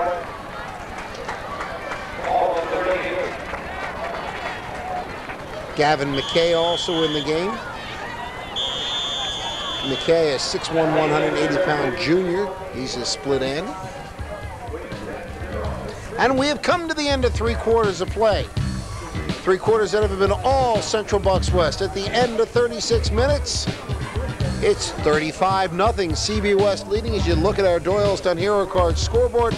We'll be back with fourth quarter action. Don't go away.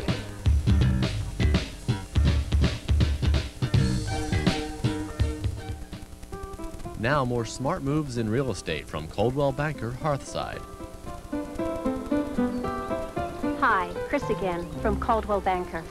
House hunting can certainly be exciting, but without the right help, it's a lot like being in the woods without a guide.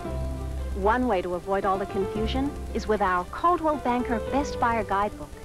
Coldwell Banker wrote it just for home buyers. It helps you determine how much home you can afford and your possible monthly payments. There's a house hunting section that helps you keep track of the homes you visit. And in the financing section, there's information on estimated buyers' costs and financing methods. So before you go looking for a home, get your copy of our Best Buyer Guidebook. All it takes is finding your way to a Coldwell Banker office. Make your smart move in real estate by calling Coldwell Banker Hearthside for your free copy of the Best Buyer's Guidebook today. Eagles Peak Springwater has been serving Bucks in eastern Montgomery County since 1958. When you reach for the peak, you reach for the best. And for new customers only, mention this ad and receive two free bottles with rental or purchase of dispenser. Call toll free.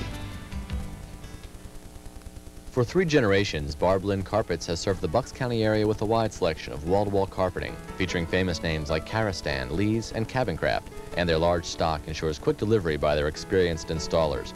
Barb Lynn also stocks a complete line of Armstrong, Congoleum, and ceramic tiles, braided as well as modern and classic oriental rugs, and a complete selection of wood flooring, plus the area's only full-service workroom for repairs and custom orders.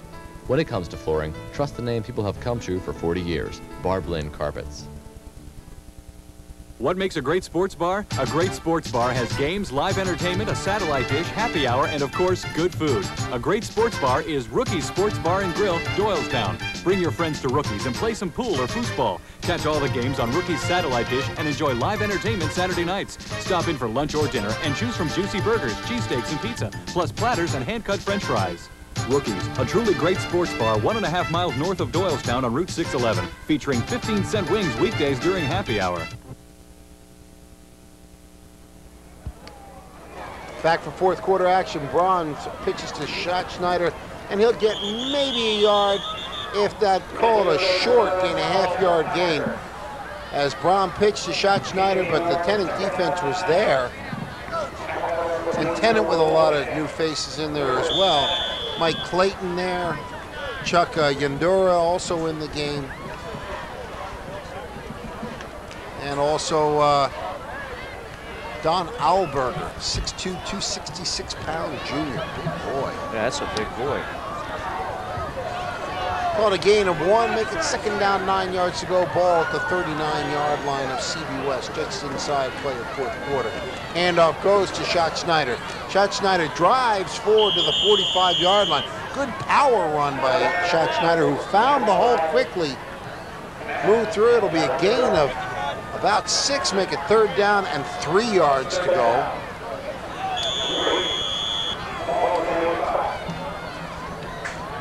Also in the game for Tennent, Darren Gross. Make that Grows. Darren Grows, 5'8", 164-pound sophomore, so they too are getting some young guys in the game.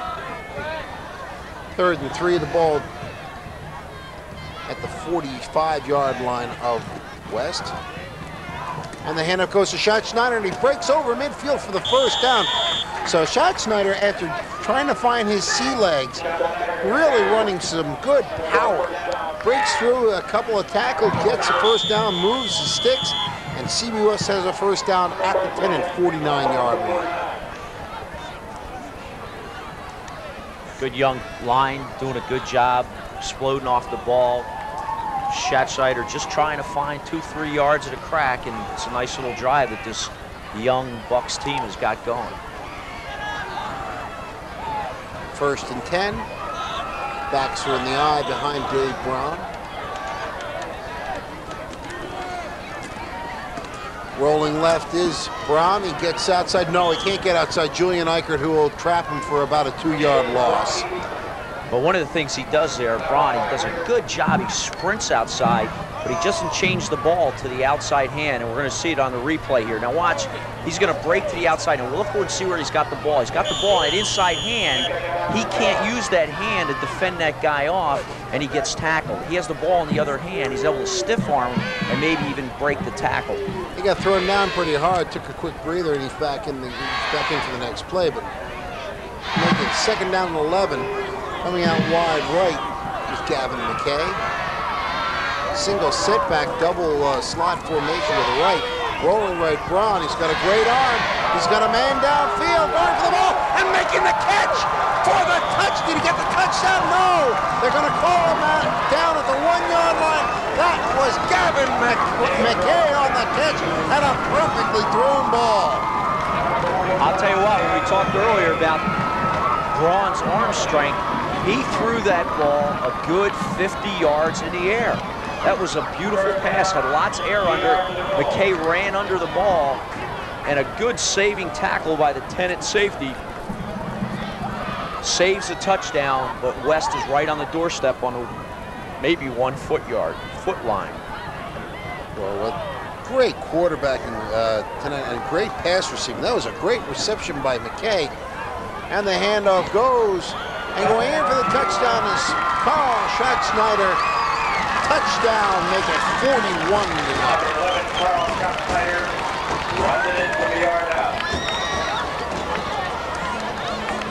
So as we get early in the fourth quarter, with 8.43 to go, Schatzsnyder with a one-yard run after the great reception by uh, Gavin McKay. And Yencha will come in to try to put the 42nd point on.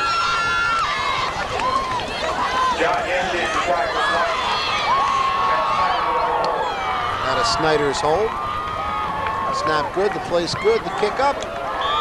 It's true, and it's 42 to nothing. Once again, a reminder, as a Doyle's, you see the fans, you see the, the cheerleaders, they're delighted. You see our Doylestown Hero Card scoreboard. A reminder, the game, card, game scoreboard is sponsored by Doylestown Hero Cards for all your sports cards and collectibles. As I mentioned before, VHS copies of this game and all other sporting events are available through Suburban Cable TV. Call 345-5154 Monday through Friday between 9 a.m. and 5 p.m. And of course, you're watching Suburban Community Television. Well, you got you, you got to you got to like the uh, little drive that Braun put together. He led nice little charge there for the young Bucks. Put some some points on the board, and that's got to help his confidence down the road. Absolutely. Jeff Klein will kick off again. He's had a, a long evening with a lot of kickoffs. This will be his seventh. Hits it hard and true. It's taken down by Solly, who hands it off. Oh, the ball's on the ground. They pick it up. They tried the reverse. Solly gets outside. No, excuse me, that's Eichert getting outside. He, I don't know what he did. he either fumbled or tried to pitch it back. The ball went out of bounds, but they tried the reverse. The ball's on the ground, picked up by Eichert. He took it all the way out to the 40-yard line, and then did something with the ball. Either fumbled or tried to pitch it back. And I don't know if we have a replay of that, but I sure would like to see it. Unfortunately not, so, but I, even if we did, it wouldn't make a difference. So that's that's the way it goes. At any rate, first and 10 for Tennent and Kevin Greenberg remains in the game. Waiting for a running back to come into the game. It's Joe Gutierrez coming in, 5'8", 205 pounds senior. Shotgun formation. Greenberg throws to Overberger. Overberger would have done well to drop the ball because he catches it for about a five-yard loss. Yeah, good play by Chris Felton, 31 in the game for West. Comes up from his defensive back spot. Does a nice job to wrap the arms and drop them. Let's take a look at this. This is actually an eight-yard loss. You see the rush coming on. Now Greenberg has been running for his life all night. Completes it to Overberg, who does the right thing, come back to the quarterback, but he's in the backfield. And it's an eight-yard loss, so now make it second down and 18 to go back to pass Greenberg. Goes over the middle. He has a man open. and getting close to the first down yardage on a well-thrown ball. It's number 41, that's Kevin Katz. He's, uh, we've heard from him before. He's made a couple of nice catches in the game. Make it third down after that gain of uh, 16, make it third and two. Under seven and a half minutes to go in this ball game. West with the game well in hand, leading 42 to nothing. And again, in shotgun is Kevin Greenberg. He's under a rush, and he's gonna go down under the rush at number 53, and that's Jim Jaworski. I, I got a, I got a special story about Jim Jaworski. Um, his father, coach at Warrington AA. Uh, mom was a big supporter of the program. And we're going to get a replay of uh, Jimmy Jaworski, and he also helped me last year coach our little Pee Wee team. There he is, Jimmy Jaworski, dragging him down. Good job. Now a fourth down, and they're going to go for it at fourth and eight. Rolling left, under pressure. Under pressure, brought down another great open field tackle, this time by Todd Koenig, coming up from his D-back spot, 6'2", 170-pound junior. Todd Koenig, Todd Koenig brings him down, and the Bucks will take over on downs deep in, in Panther territory. And this has just been an absolutely, I mentioned at halftime, they weren't dominating. They're dominating now. Well, it, the last two plays, the, the offensive line for Tennent wasn't there. I, I, I don't know if they just have a lot of inexperienced guys on the line or the guys that are in there are just exhausted. Luke Maroney in the game, quarterback. Six, six foot, 185 pound sophomore. It's our first look at Luke Maroney. Is Maroney in? Let me see if they got Maroney in there. Let's take a look. You see the sacks uh, tonight. Tennent with two sacks, West with four.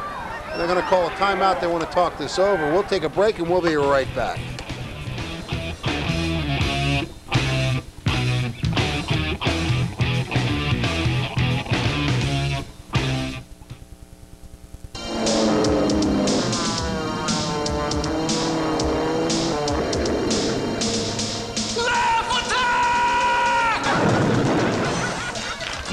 Good laugh?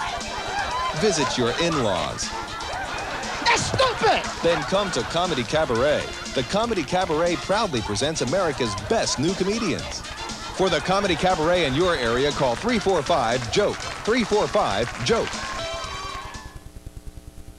Barney says don't buy a car. Save money. Maintain your car. See Barney's for all your auto repairs or used auto and truck parts. Hotline service for parts not in stock. Barney's on Route 309 in Line, Lexington. Robert Grummeyer, proprietor.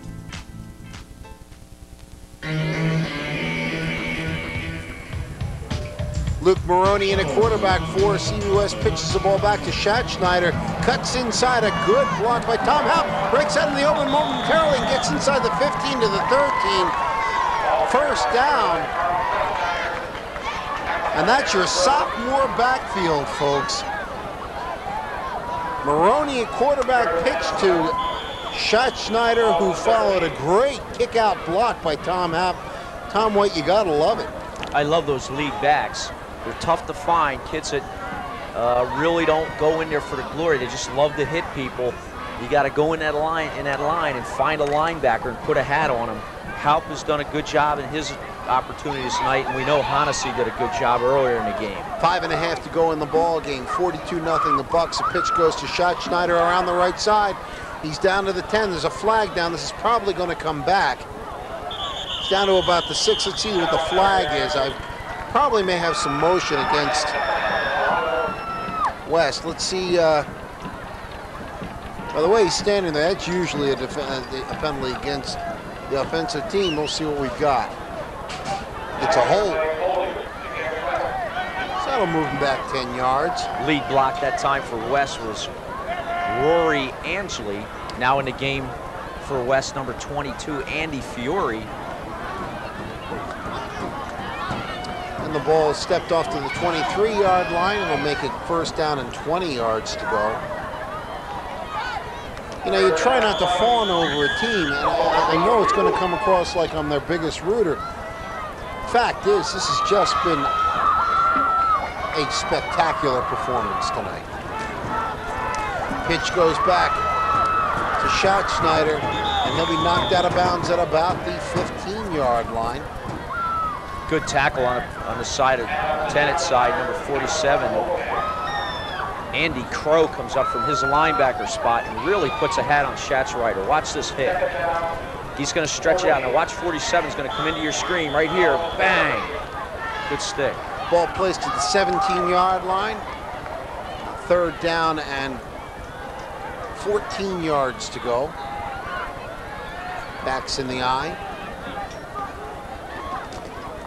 Handoff goes to Shot Snyder, and he is hit right at the line of scrimmage there on a good stopping tackle by Brian Wolfgang. Wolfgang's had a good good game for Tennent tonight. And he's only a sophomore, 5'11", 178 pound. He came up from his linebacking spot. He also has had playing time in the back offensive backfield. And you see him on that tackle. Good solid play. Now we're inside. Four minutes to go in the ball game. And it's a third down and still about 14, maybe 13 yards to go.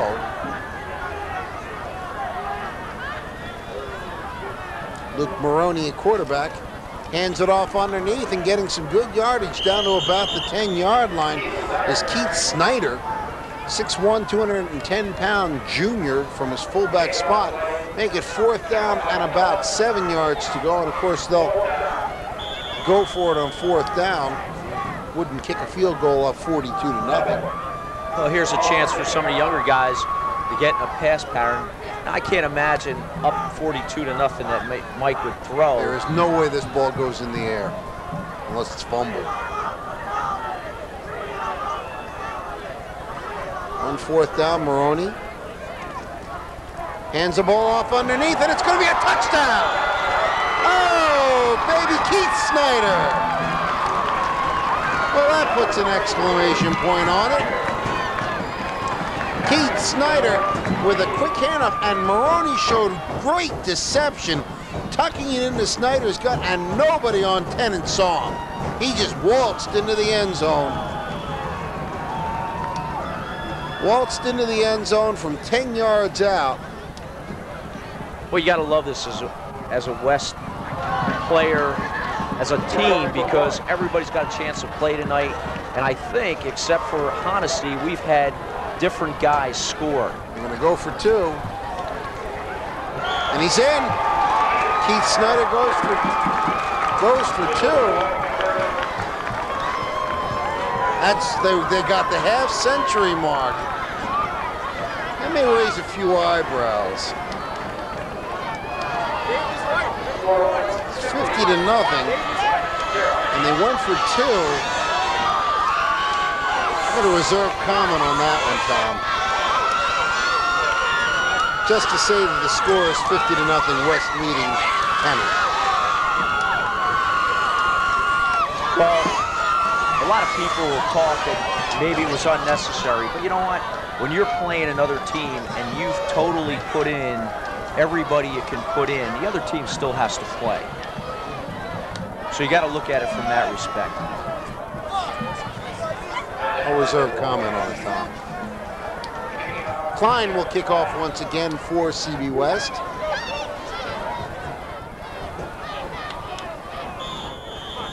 Back deep, Brian Wolfgang. Hits it, and Wolfgang will take it at around the 15-yard line. Hands it off again to Julian Eichert around the left side. He's up over the 30, the 35, the 40. 45 cuts outside. He's knocked out of bounds to the 50. Had he been able to cut inside, he's gone. Yeah, he's had two good returns on the last two kickoffs. Good speed. And here Just we go. the last guy to knock him out of bounds. For six weeks every year at Shady Brook Farms, we let the ghosts and ghoulies run wild over our 300-acre vegetable farm. Once again this fall, they're back, and this time they brought friends.